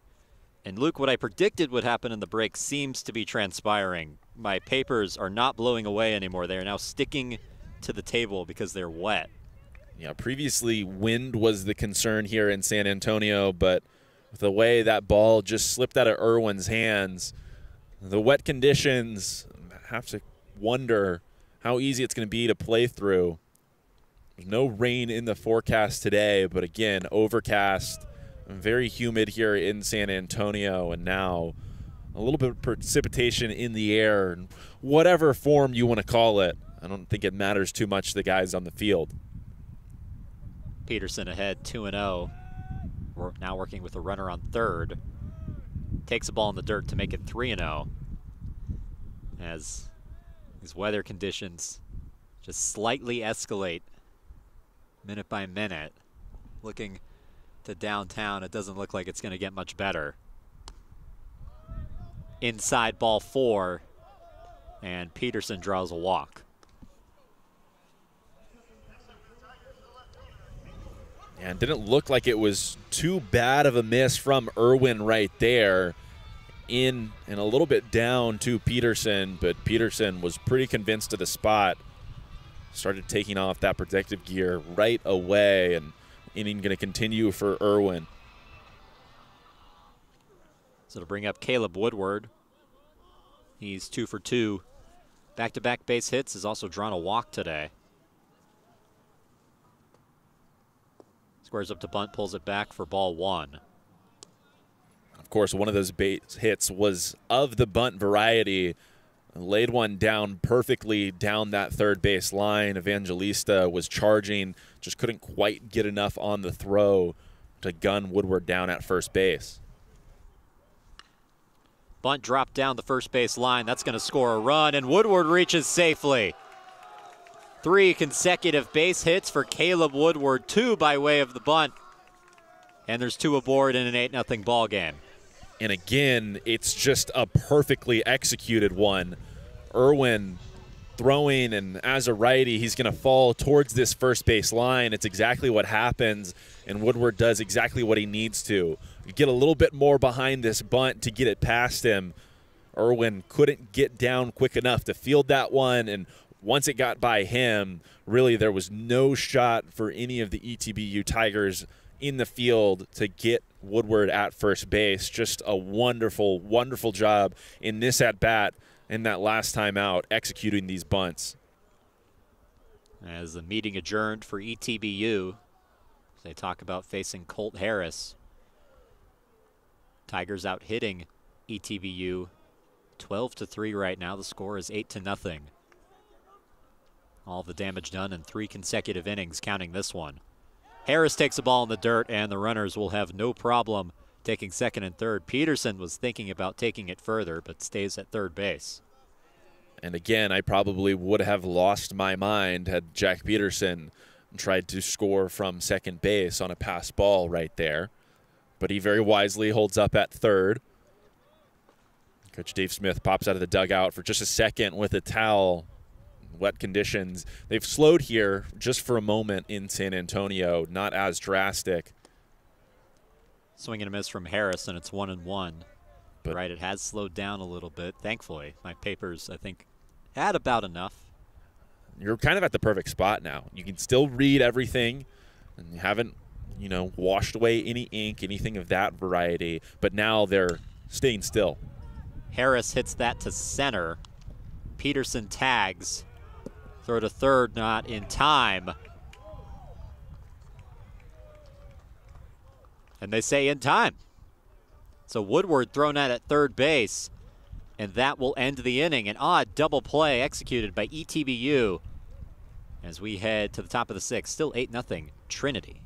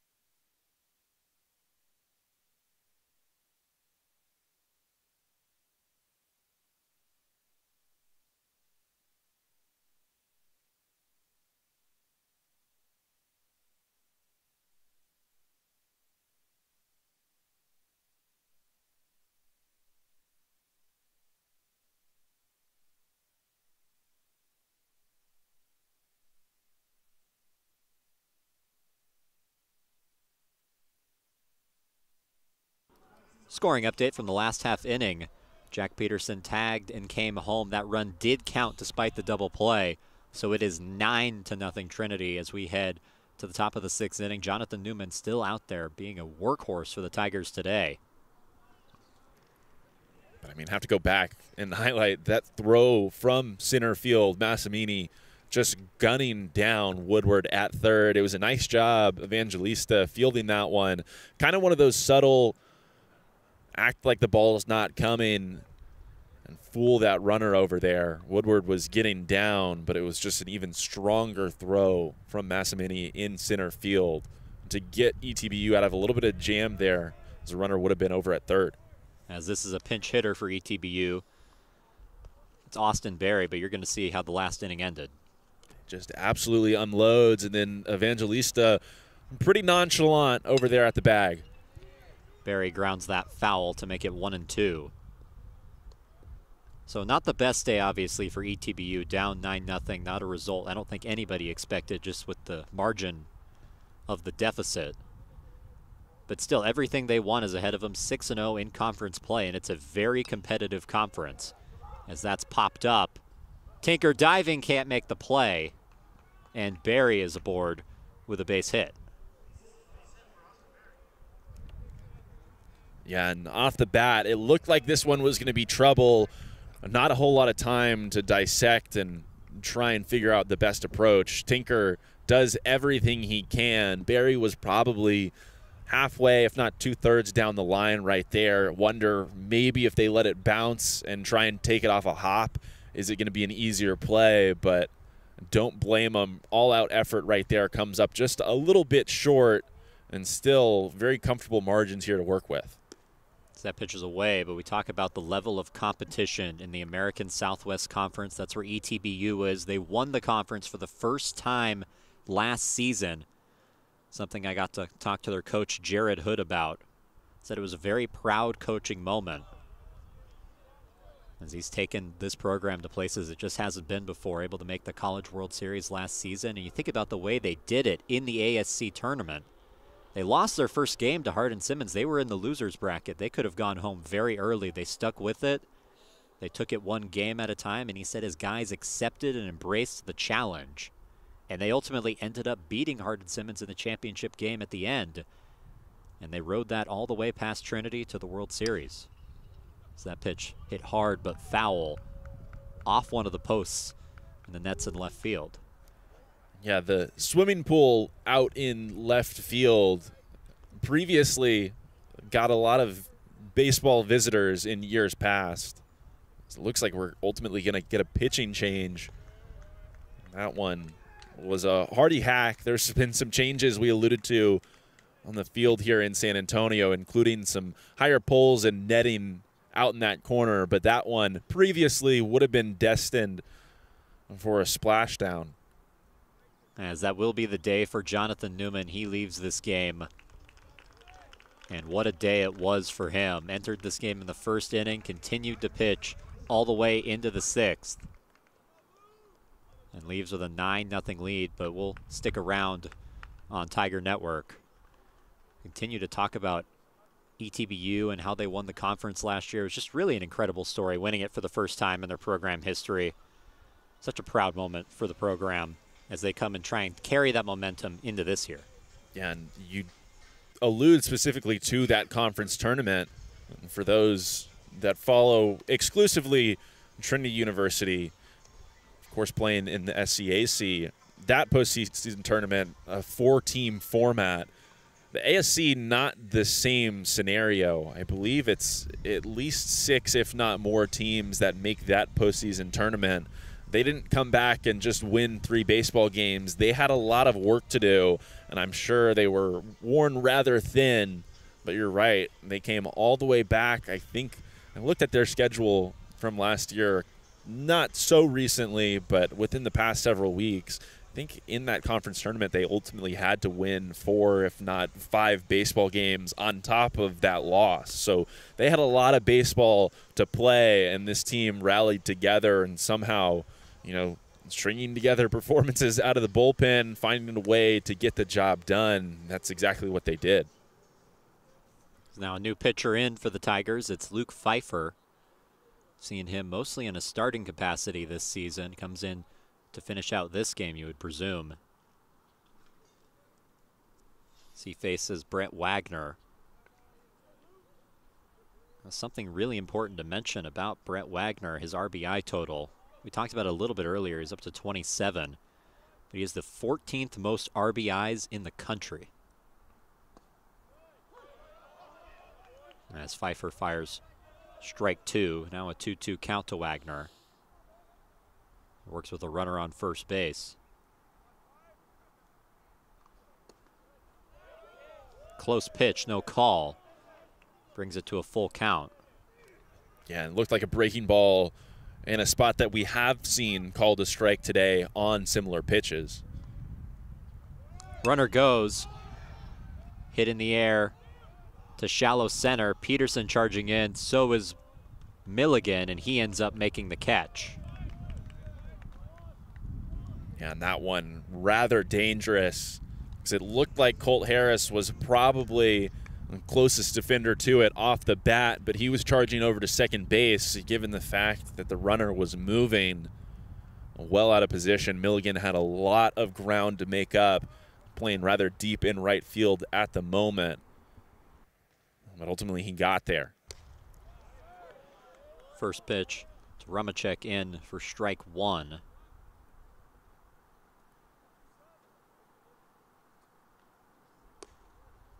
And ball one as that pitch misses. Still working with the runner on first. One down in the inning.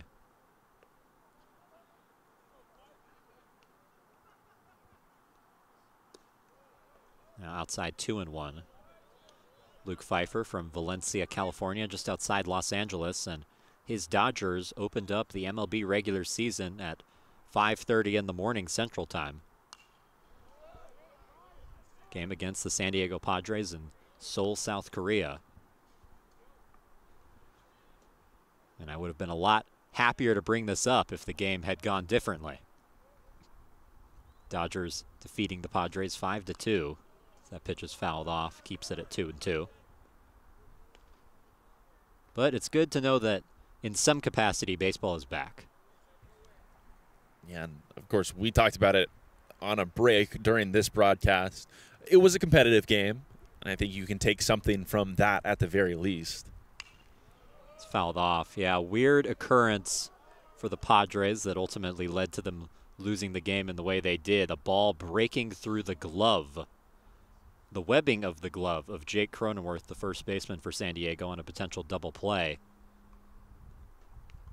I have never seen anything like that, as it looks like that's a hit by pitch.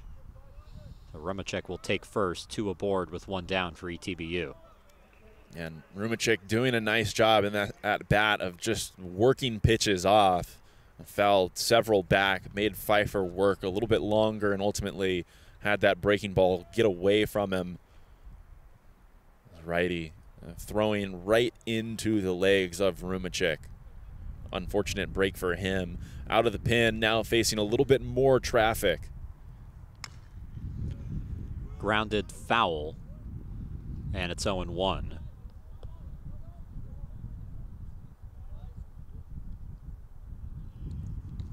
We've seen a lot of base traffic from ETBU, and part of that is just because of how much they walk. They have the sixth most walks in the country. That pitch taken for ball one. Part of that number just because of how patient they are. Coach Hood talked about how much they've developed as hitters from last year to this year. Saying that that number is just part of their maturation. Though he doesn't always agree with it. He told me that he's more of a swing it guy. So his team not quite falling into his identity, but hey, whatever works, right? I feel like it's a lot more fun when you swing it. It seems that way. That's fouled back to make it two and two. That's usually the approach that I have on the broadcast when I'm watching teams play. I think it certainly depends on the outcome of at bats. It's a Trinity team that seemed a little strikeout happy in the early portion of the year and took a few too many strikeouts looking. 2 2 pitch. Swing and a miss, strike three. First strikeout of Luke Pfeiffer's outing, and there's two away. And a very good response in this at bat from Luke Pfeiffer, going right at Newland right there, and ultimately wasn't phased by the breaking ball that got away from him just a little bit in the last at bat to put Rumacek on. Came right back with it, and ultimately it was the pitch out or put out pitch he needed. So still those two runners on for ETBU, and two down in the inning. That's fouled into the catcher's glove for strike one by Carson Wilson, another pinch hitter senior from Sugarland, Texas. Ball in the dirt. Riding takes care of it. And it's one and one.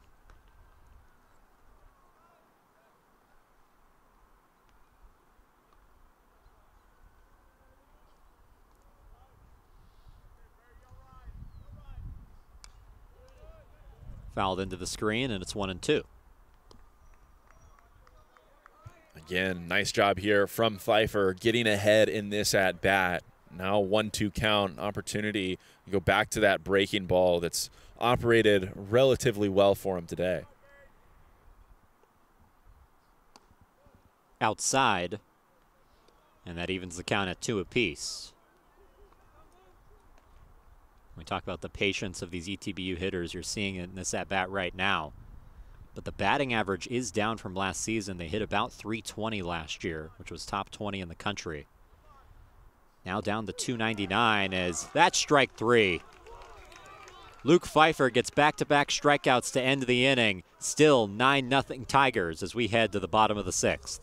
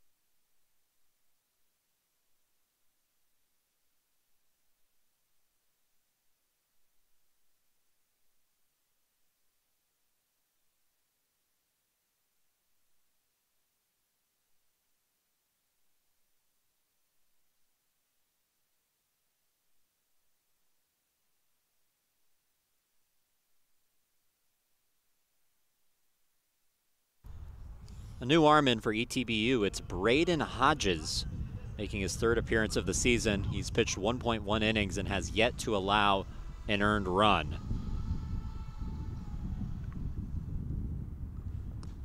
As he faces Alex Monson, who takes strike one.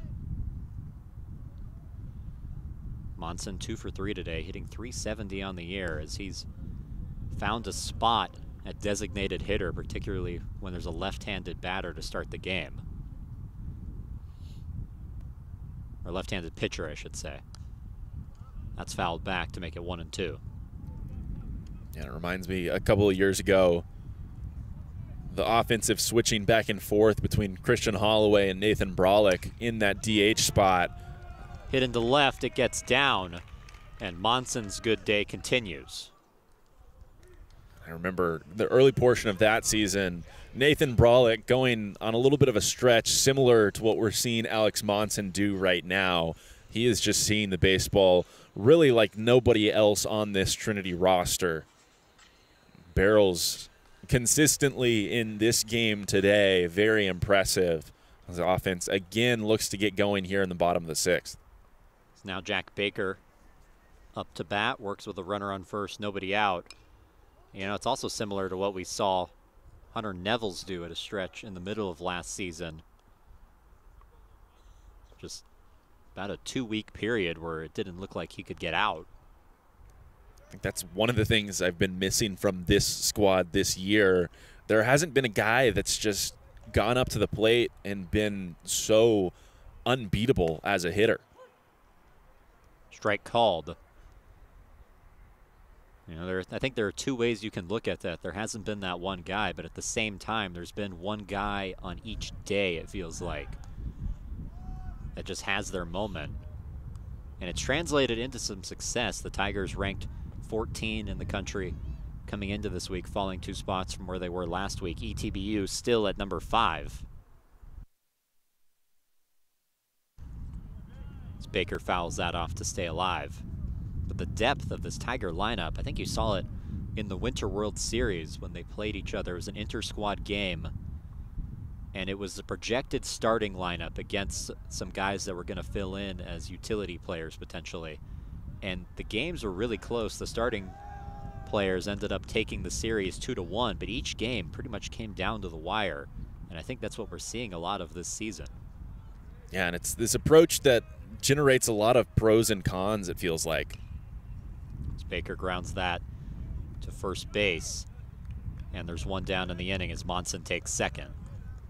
clearly you have so many guys that you want to get as many as possible into the lineup, but understandable that can certainly have an impact on a guy's ability to really get into a groove at the plate and maybe it's limited some particular bats in this Trinity offense, but Alex Monson, not one of them at the moment, swinging it very, very well here today, and he's now down at second base.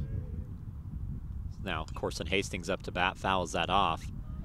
But that was something I got to talk to Coach Dave Smith, the pitching coach, about. The schedule, just the nature of it, having so many midweek games. We have a Tuesday, we had a Tuesday game yesterday against Concordia. And then you have the Tigers playing today against ETBU, obviously, combined with the weekend series. Said while it's going to stretch the pitching staff, it's also going to help these hitters get into a groove. You can imagine taking five days off, or four days off, I should say, in between weekend series. It's hard to keep a rhythm going. And he made the example of the Braves and the Dodgers both losing last year while having a bye in the MLB postseason. It's just hard for hitters to get into a rhythm. It's much easier to keep it going when you're playing every day.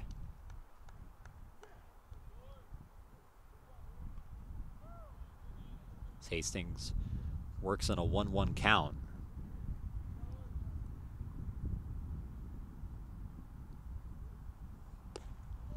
Tie two and one. And Luke, I think you're seeing the impact that this schedule might have offensively. Two years ago, Trinity had nearly 10 runs a game. Not quite there this season, but getting much closer than the 6.3 they were last year. Yeah, it's been pretty steady, and you have to wonder as well now that this team has – and got into this particular portion of their year. Hit in the air to left, or to right, I should say, and the catch is made for out number two. Monson tags and slides into third safely. Now, one weekend of conference play in the books, and the rest of that schedule remaining. Will we start to see some names that do get cemented in this batting order? Of course, would anticipate in midweek games that don't carry quite as much weight for these faces to continue to rotate. But we'll see this upcoming weekend against Schreiner. How do things change?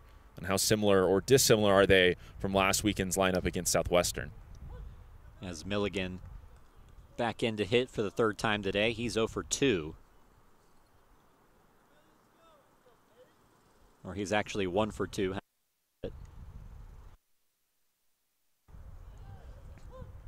Check swing went around for strike two. Milligan actually does have a base hit in this game. He's one for two. Works with two down and the runner on third.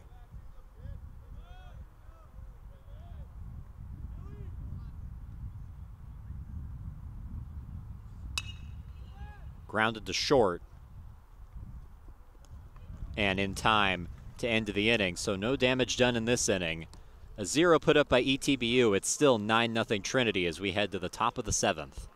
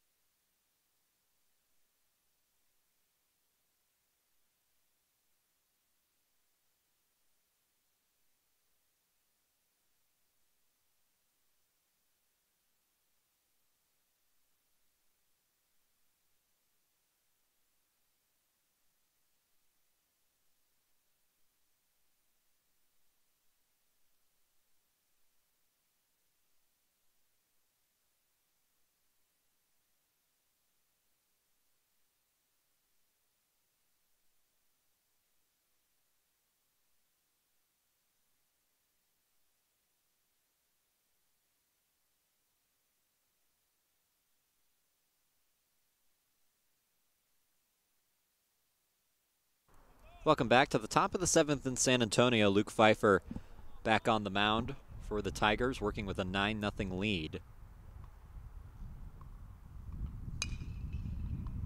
So that's grounded foul down the first base line. Still in Berneman. A nine hole hitter up. Berneman 0 for 2. He's flown out once and grounded out as well. Hit into left, and Berneman's aboard with a base hit. So a leadoff man aboard for ETBU. Pfeiffer trying to work a scoreless inning, already up 9 0. Trying to keep the momentum going. But Berneman, a very dangerous batter once he gets aboard. Second in the nation in stolen bases. He's attempted 21 and he's successfully stolen 20 bases as swinging a miss strike one for Pfeiffer. So we'll see how often Pfeiffer checks on him. Hit deep to center field. Peterson back. He makes the catch, and there's one down with one aboard.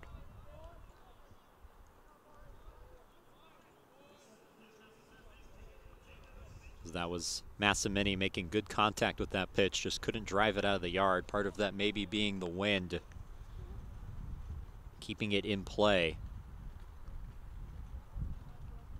Peterson had the drift back, but was able to do so in plenty of time. As now Pfeiffer, as now Pfeiffer faces the number two hitter.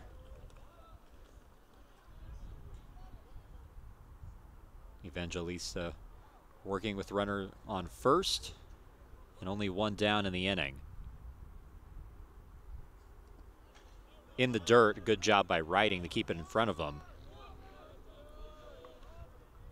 Berneman not going yet, has not even tried so far in these two at-bats since his. We'll see how patient he is, trying to pick his moment. Ball called, and it makes it two and one.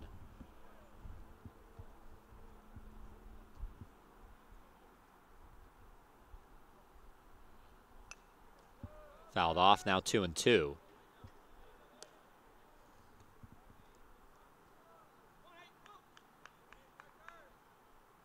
Trinity trying to avoid losing three consecutive games if they can hang on to this 9-0 lead.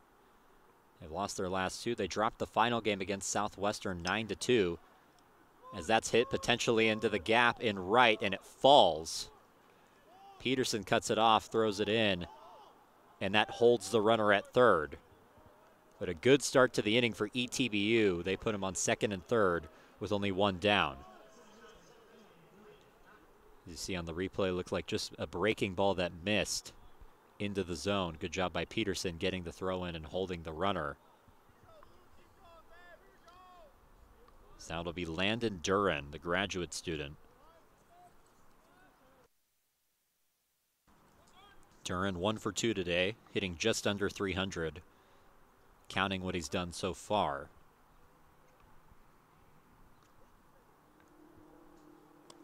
Swing and a miss, strike one. A good pitch from Pfeiffer.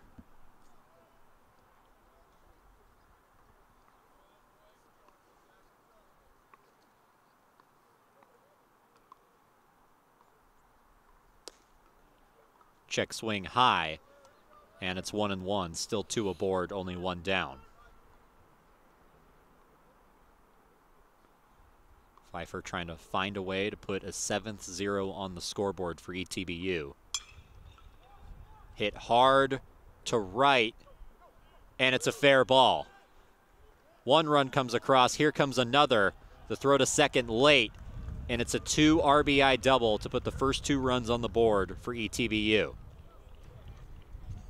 Yeah, we saw a similar ball in play earlier in this game, put down into that right field corner very narrowly was a foul ball. This one very narrowly staying fair. Ultimately, Pfeiffer paying the price for it as two runs come across and ETBU finally breaks the seal. Landon Duran, a two RBI double. As now Pfeiffer works against Austin Berry, graduate student from Houston, Texas.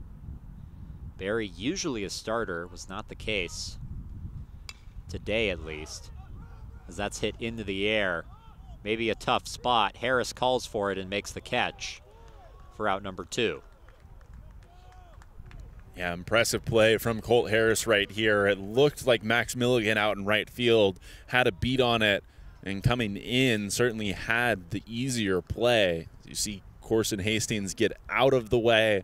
Ultimately, Harris contorting his body and starting to fall backward, squaring his shoulders in case he has to make a throw over to third. But the runner choosing to stay put. Now Pfeiffer just one out away from getting out of the inning. But it's a tough out. It's Brent Wagner who waves at that for strike one. We mentioned how Wagner is an RBI machine in a position with a runner on second to add to his total. Ball in the dirt, one and one. And it's interesting that Pfeiffer working out of the pen in this one. Usually a Saturday starter for the Tigers was so last weekend against Southwestern in a game the Tigers won. See what that means for their future plans as conference play continues. As they say, Wagner checked his swing, making it three and one. Yeah, a little surprised to not even seeing an appeal down on that one. Swing and a miss, strike two. The count is full.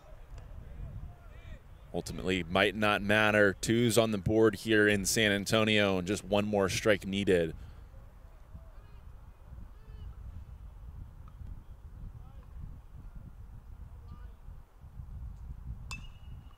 Fouled off as Wagner stays alive. Still a 2 2 count.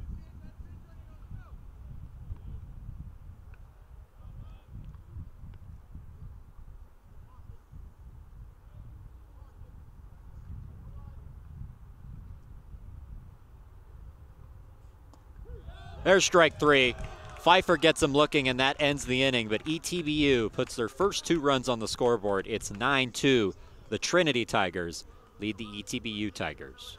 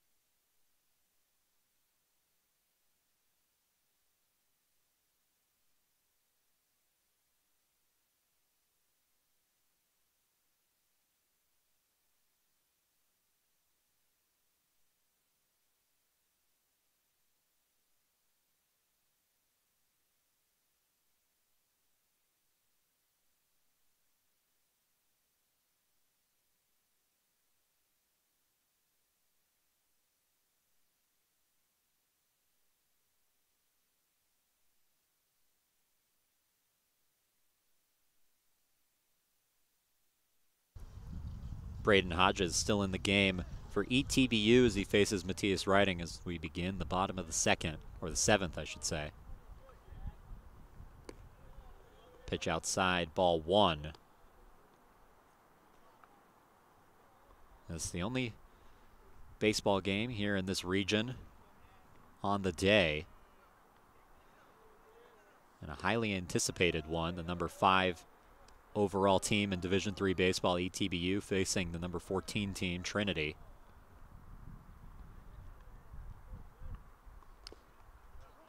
Fouled off to make it two and one.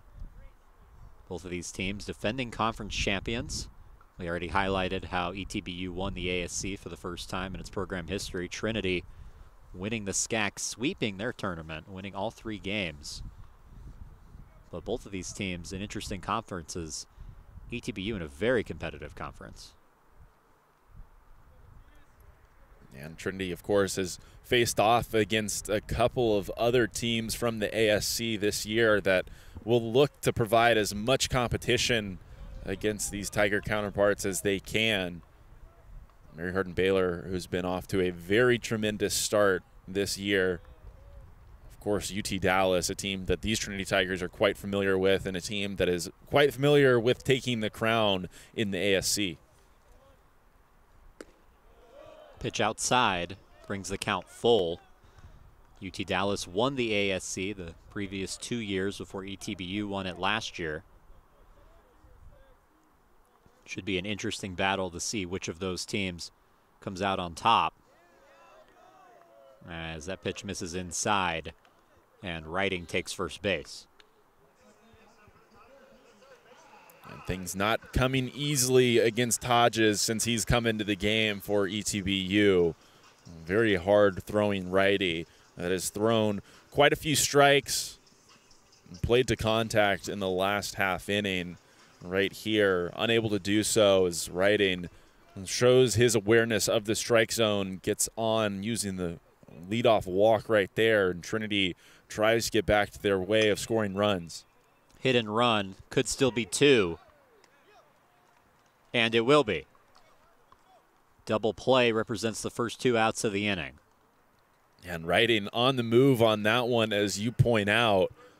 I think just alludes to how hard hit this ball was. It's Berneman out there at shortstop for ETBU, who I think paused for just a second. Sure, he heard and was alert that the runner was going. Imagine in most situations like that, not going to have a chance for two, but still had plenty of time to get the ball on to second.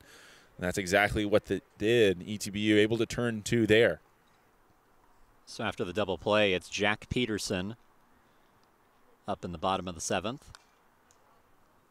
Foul back into the screen to make it 0 2. Peterson's reached three of his four at bats. He's walked the last two times and singled before that.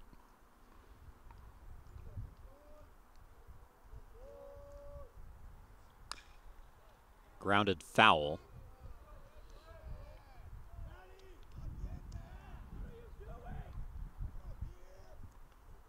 referenced it earlier. Peterson caught stealing last week against ETBU, the streak that that broke up. Haven't gotten to speak to him about that, but I'm sure that's something he's aware of. Hit in the air to right. Ranging back, not able to make the catch, and it's over the wall for a ground rule double.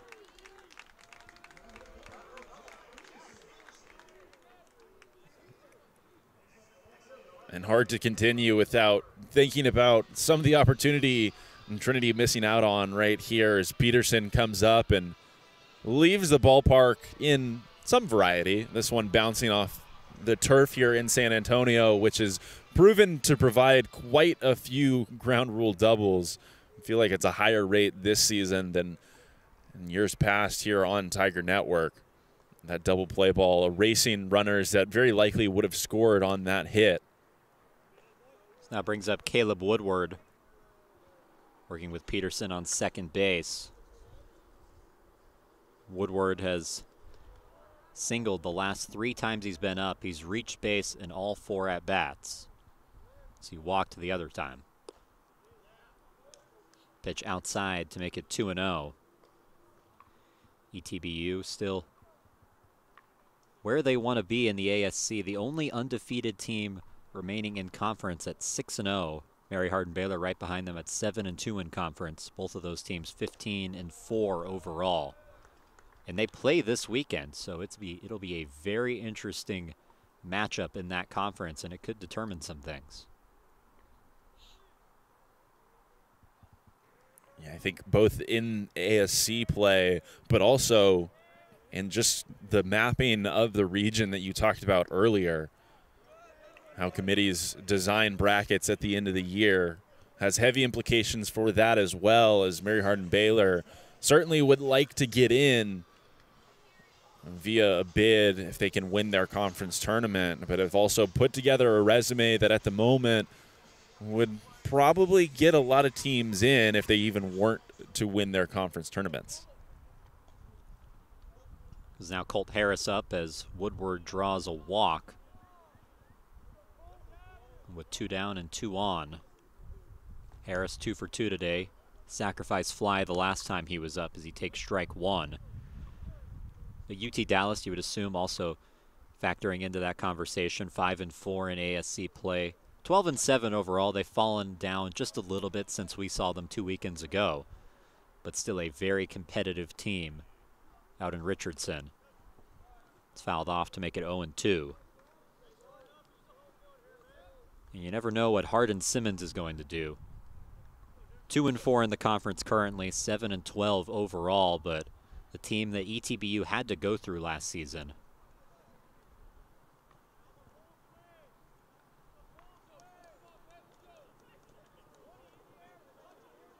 It's an 0-2 pitch with two outs to Harris.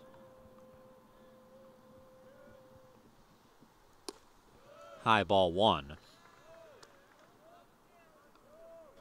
Hodges certainly in the driver's seat right here.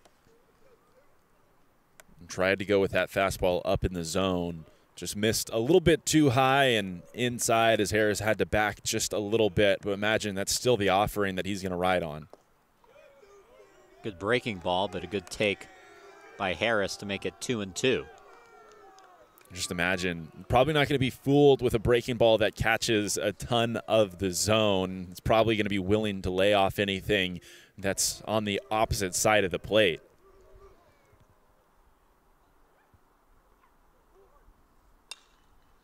Hit in the air to left field. And the catch is made to end the inning. So Harris is retired. That ends the seventh. We head to the top of the eighth. 9 to 2, Trinity leads ETBU.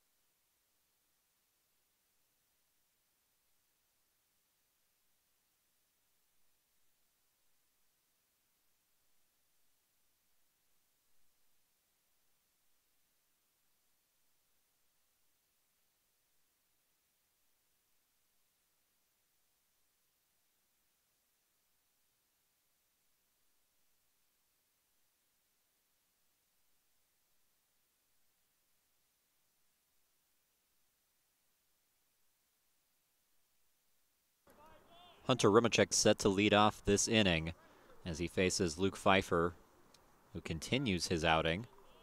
Pfeiffer, the third pitcher the Tigers have used today. Carter Aldman started this game, went point two. So that's grounded foul. Pfeiffer fields it just in case. But Aldman started this game. Jonathan Newman pitching the majority of this one in line for the win if the Tigers can hang on, and then Luke Pfeiffer coming in after Newman. Ball in the dirt, and it's one and one. Yeah, and as good as the offense has been today, I feel like you can make the argument that Jonathan Newman is probably the player of the game for this Trinity offense as Pfeiffer induces a swing and miss on that nice off-speed pitch right there. Brings the count to one and two.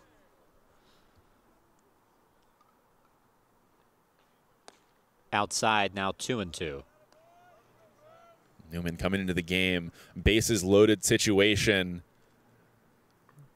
getting out of a jam in the first inning. Outside, and Pfeiffer in danger of walking the leadoff man. ETBU trying to continue the momentum that they built the last time they were up to bat, plating two runs in the top of the seventh. And he loses him ball four. A leadoff walk for ETBU.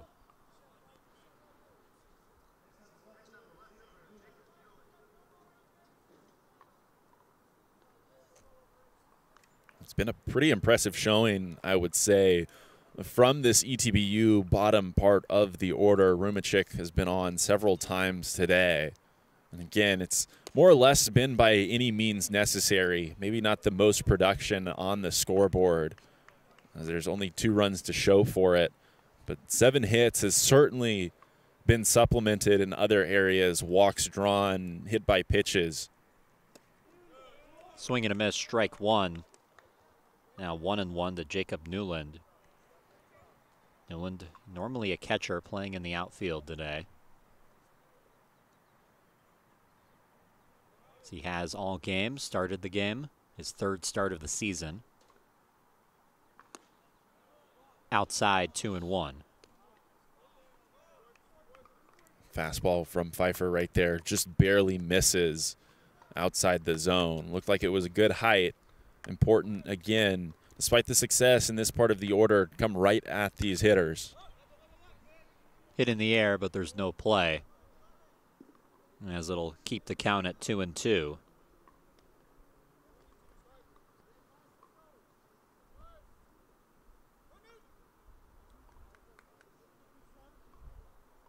Both of these teams, we've mentioned it a few times, nationally ranked. The Tigers fell two spots from where they were a week ago. They were at number 12 when they visited ETBU on their home field in Marshall. Fell to 14 after losing to Concordia last night. Concordia in the ASC, that brought their record to 10 and 10, a 500 mark overall. So that's fouled off out of play, keeps it at 3 and 2. But the response from Trinity has been so incredible, especially offensively. It was so inconsistent yesterday. They had the 5-2 lead, couldn't add on to it at all. Concordia gets back into the game and wins. But already up 9-0 to start this one. As that strike three, a high pitch is what it looked like. But Newland heads back to the dugout with one down in the inning. Yeah, and it really looked like Newland, as that ball was being received by Riding behind home plate, was – starting to make his trek to first base. I don't think that that was a situation where he was trying to convince the home plate umpire that that one was out of the zone. I think he truly believed it. Right, and maybe helping out his staff again. He brought that pitch down just a little bit. It was a close one, certainly in a 3 2 count. Maybe you have to do a little bit more to protect in that situation, but one way or another, it's an out on the board for Trinity. The pitch misses to make it 1 0 to Landon Duran.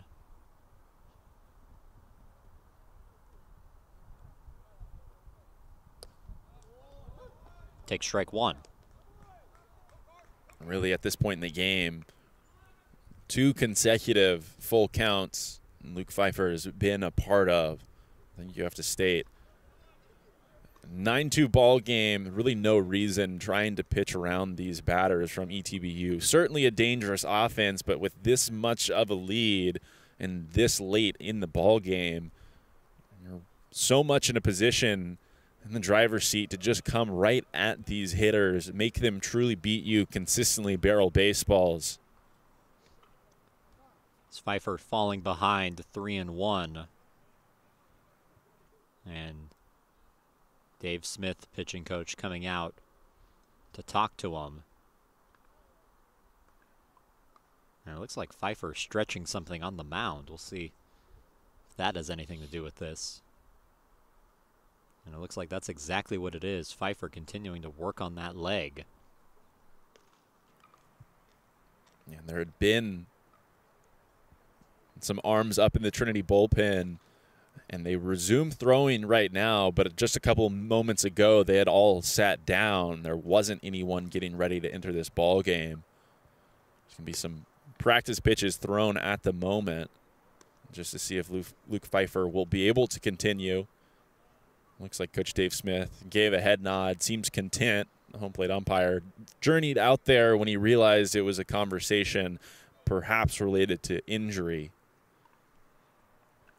we saw something similar over a week ago with Trinity's normal Sunday starter Jackson Tier against UT Dallas. Left the middle of the game with an arm injury as Pfeiffer misses on that one and another walk for ETBU.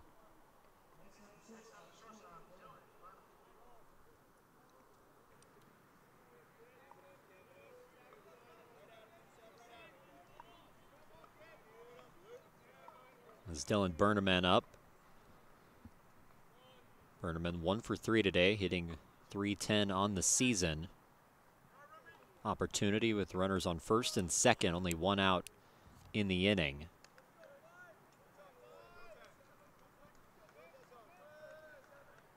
This game has continued all the way to the top of the eighth. For those of you who are just joining us, Trinity opening up a 9 to nothing lead. They did all their damage in three consecutive innings. It was the third, the fourth, and the fifth. Four run spot, three run spot, two run spot. That adds up to nine. ETBU putting up two runs in the top of the seventh. And now have two more aboard with one down. Tournament ahead 2 0, make it 3 0 as that pitch misses. And Pfeiffer in danger of loading the bases with only one down.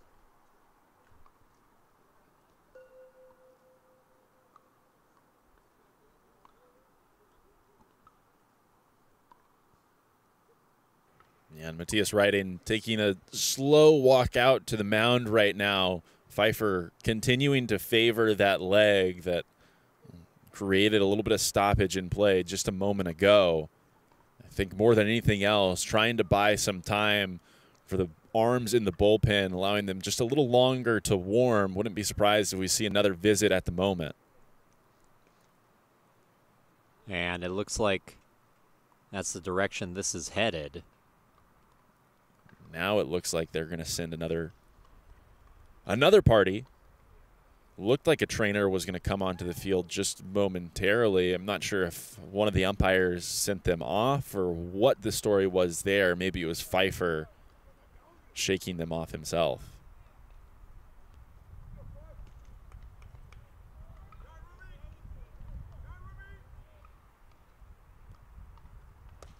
Pitch inside, and that will load the bases as Burneman's aboard.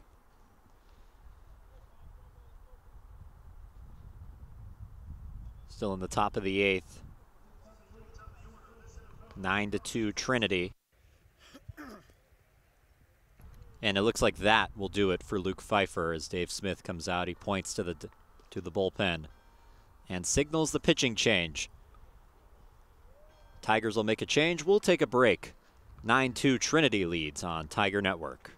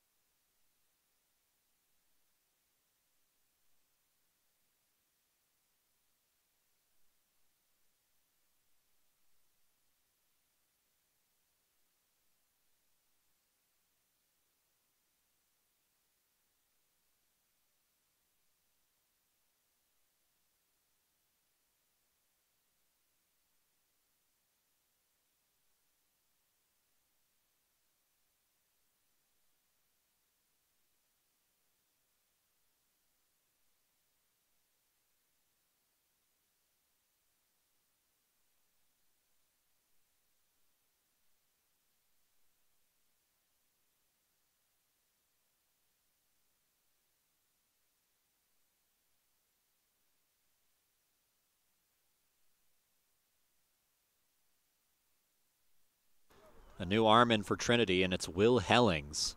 Comes in with the bases loaded, only one out, and he faces the top of this ETBU order. Connor Massimini. Hit in the air to right. Milligan checked on it, but ends up going into the Tiger bullpen. Yeah, that's been a dangerous corner this ETBU offense has taken advantage of already in this game. That one, not so much. Pretty comfortably foul that time.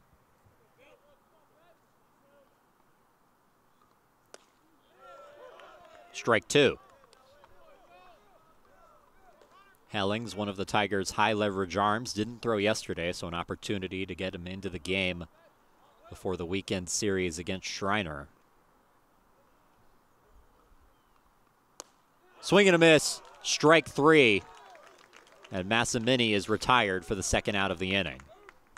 Yeah, and he's high leverage because he's high velocity. He comes in straight out of the pin, three pitches needed, and that's all that's needed. Fastball there, just way too much, more than anything this ETBU squad has seen so far on the day. As now he faces Jacob Evangelista. Ball called, looked like a good pitch. Yeah, and some groans from the Trinity faithful behind home plate. Really, the first time that I've heard the fans get into this one. They like the spot as much as anyone here in the ballpark. Did he go? No, and no appeal, so it's 2 0 after two close calls. And Coach Smith taking a step onto the field right now, maybe showing some frustration. We'll see a replay right here. Hands out there, and barrel very close to breaking the plane. But again, it's a situation where the home plate umpire refused to check with the field umpire. So now a 2 0 count. Hit hard but foul, and it's 2 and 1. As Riding is going to come out to chat with Will Hellings. Maybe a discussion about what to throw next, considering bases loaded. Don't want to be relaying signs with runners on. The ability to maybe give some help to Evangelista at the plate. Dangerous two hole hitter knew what was coming, had to be a fastball in that 2-0 count right there, just couldn't quite catch up to it. Imagine, however, he sees it again, do a better job of getting that foot down. There's strike two. That's a perfect pitch to throw right off of it. The timing of the fastball is a little bit much, speeding up the hands of these ETBU hitters. Got it, but wasn't going to get it again right there, and Hellings made sure to deliver, hitting the outside corner with that breaking ball.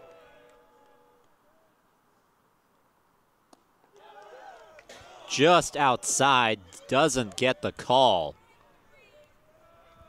And it's 3 2. We'll see it on the replay. And while this one certainly got the call earlier in the game, it since that point in time has consistently not been called a strike. So close pitch, no dice. Now 3 2. Fouled back towards us, and we'll do it again. Yeah, going to be hard to beat Evangelista right here if you don't have that breaking ball pitch right on the edge of the zone at your disposal. Right now, he's showing he's not going to be overwhelmed by the fastball.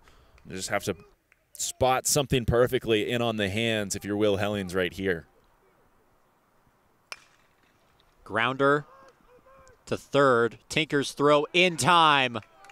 And that ends the inning. Hellings comes in with the bases loaded and he gets out of it. 9 to 2. Trinity still leads as we head to the bottom of the eighth.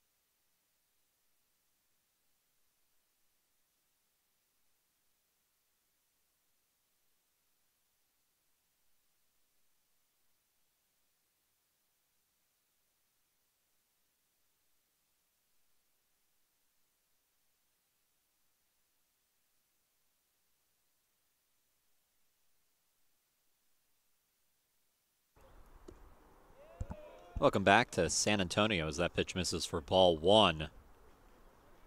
A new arm in for ETBU in a 9-2 game. Trinity has the lead. It's Ethan Brister. Fires that for strike one. It's now one and one.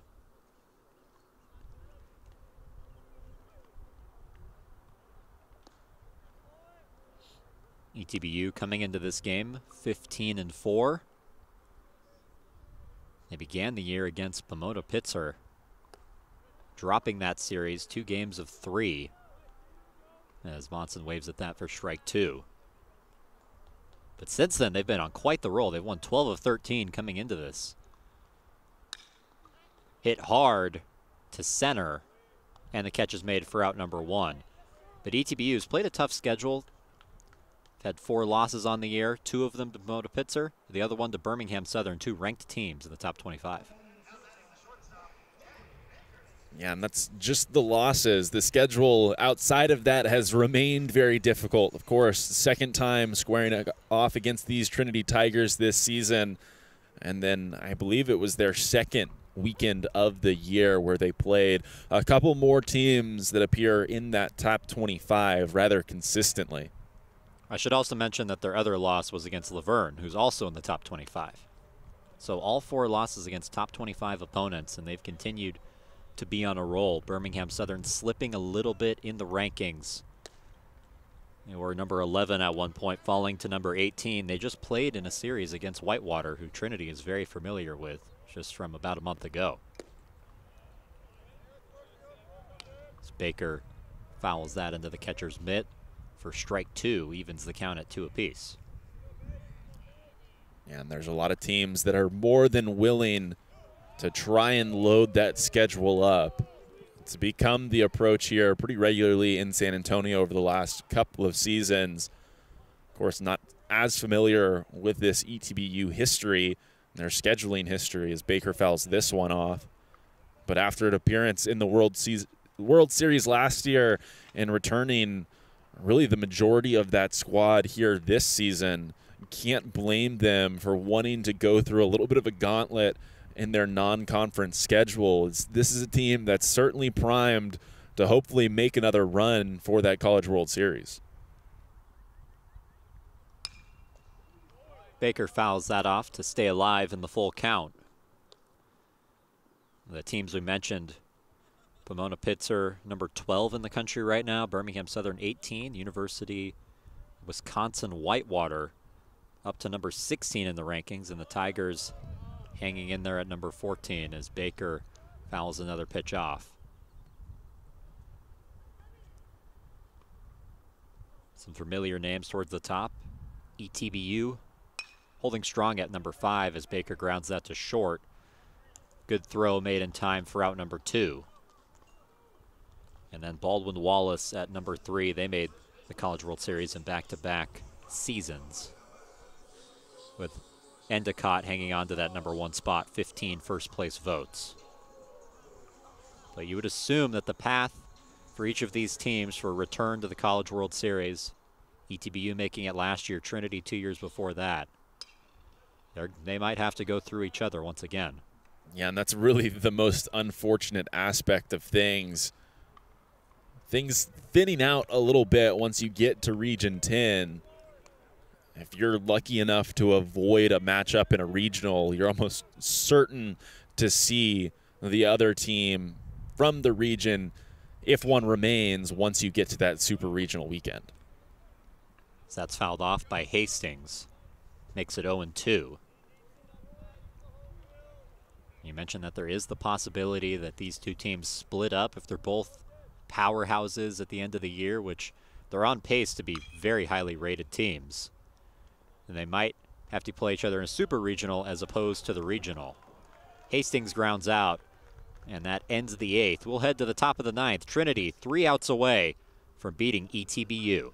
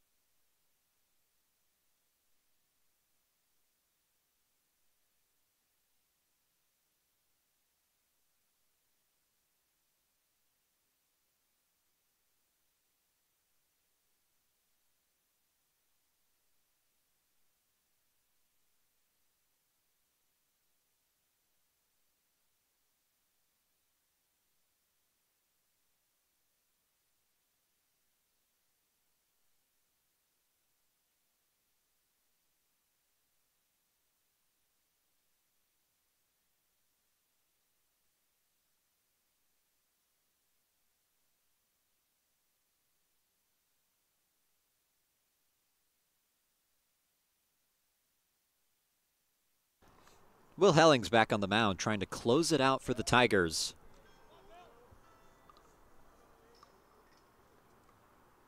Trinity three outs away from taking down ETBU as he faces Landon Duran, who takes strike one.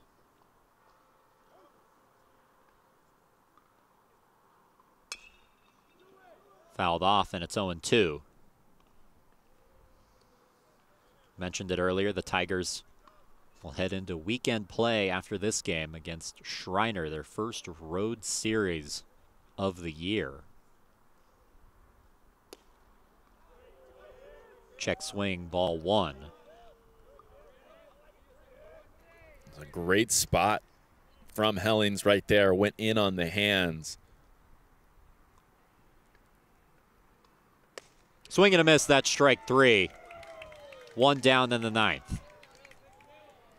Went in on the hands and missed just a little bit outside the zone. I think realized that next offering these guys haven't quite been able to catch up to me. I can afford to put it in the zone. That's exactly what he does. Just overwhelming ETBU right now. It's only two outs remaining for ETBU, trying to extend the game. So that's fouled towards the Tiger dugout. Handled very cleanly by Dave Smith. It's Austin Berry into the batter's box. Down 0-1 to Will Hellings. Strike two. And Hellings coming back into the game, hoping to finish things off in the ninth. Certainly have the same desire and hope myself up here on top of the Bell Center, considering the fact that the bullpen is cleared out, and I think this one is on Will Hellings no matter what. Swing and a miss, strike three. And there's two away in the ninth. Tigers will head to Kerrville to face Schreiner. And they will play the University of St. Thomas the weekend after that. St. Thomas currently 3 0 in the conference standings, and that could prove to be a big one in the SCAC. Hit in the air, deep left field, and gone. A home run for ETBU makes it 9 to 3 as Brett Wagner leaves the yard. Yeah, and a relatively quiet statement from Wagner.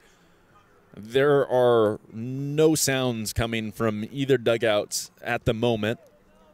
East Texas Baptist, I'm sure, happy about that one on the inside, but considering the fact that that still just cuts the deficit to six runs, a very contemplative dugout at the moment. The second home run Hellings has allowed this entire year, allowed one against Whitewater in a game won by himself and Joseph Shavana, that tandem that we've seen so often this year. The fourth home run of the season for Brett Wagner, who adds another RBI to his total. And Wagner, who is able to catch up to that one, shows exactly what happens in that scenario. Out in front of that one, does a nice job of getting his hands through, gets a lot of barrel on the baseball, and makes it fly. Fouled off, and it's one and two. ETBU down to their final strike. After this game, they will play the University of Mary Hardin Baylor a game for first place in the ASC. I'm sure we all look forward to that one just high, and it's two and two. Hellings trying to close the door. Outside, full count.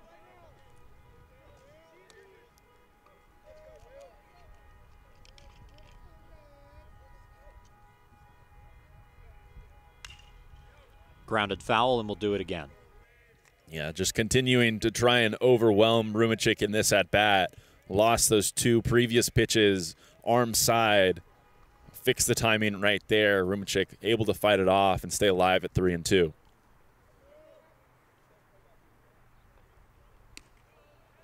Inside ball four, and he loses him. Yeah, and maybe trying to do a little bit too much in the middle of that at bat ultimately just wasted a couple of pitches that I'm sure he would like to have back. Now Rumacek stands down there at first base. Still, not a very threatening situation, but Hellings, I'm sure, would like to be out of it sooner rather than later. It's fouled off. Strike one to Newland. Now working with a runner on first base. Back to back ETBU batters reaching. It was Wagner by way of the home run, and now a runner on first by way of the walk. Pitch just low, and it's one and one. And that breaking ball, that spot down and away to these right handed hitters, it's been off and on, hot and cold here in San Antonio.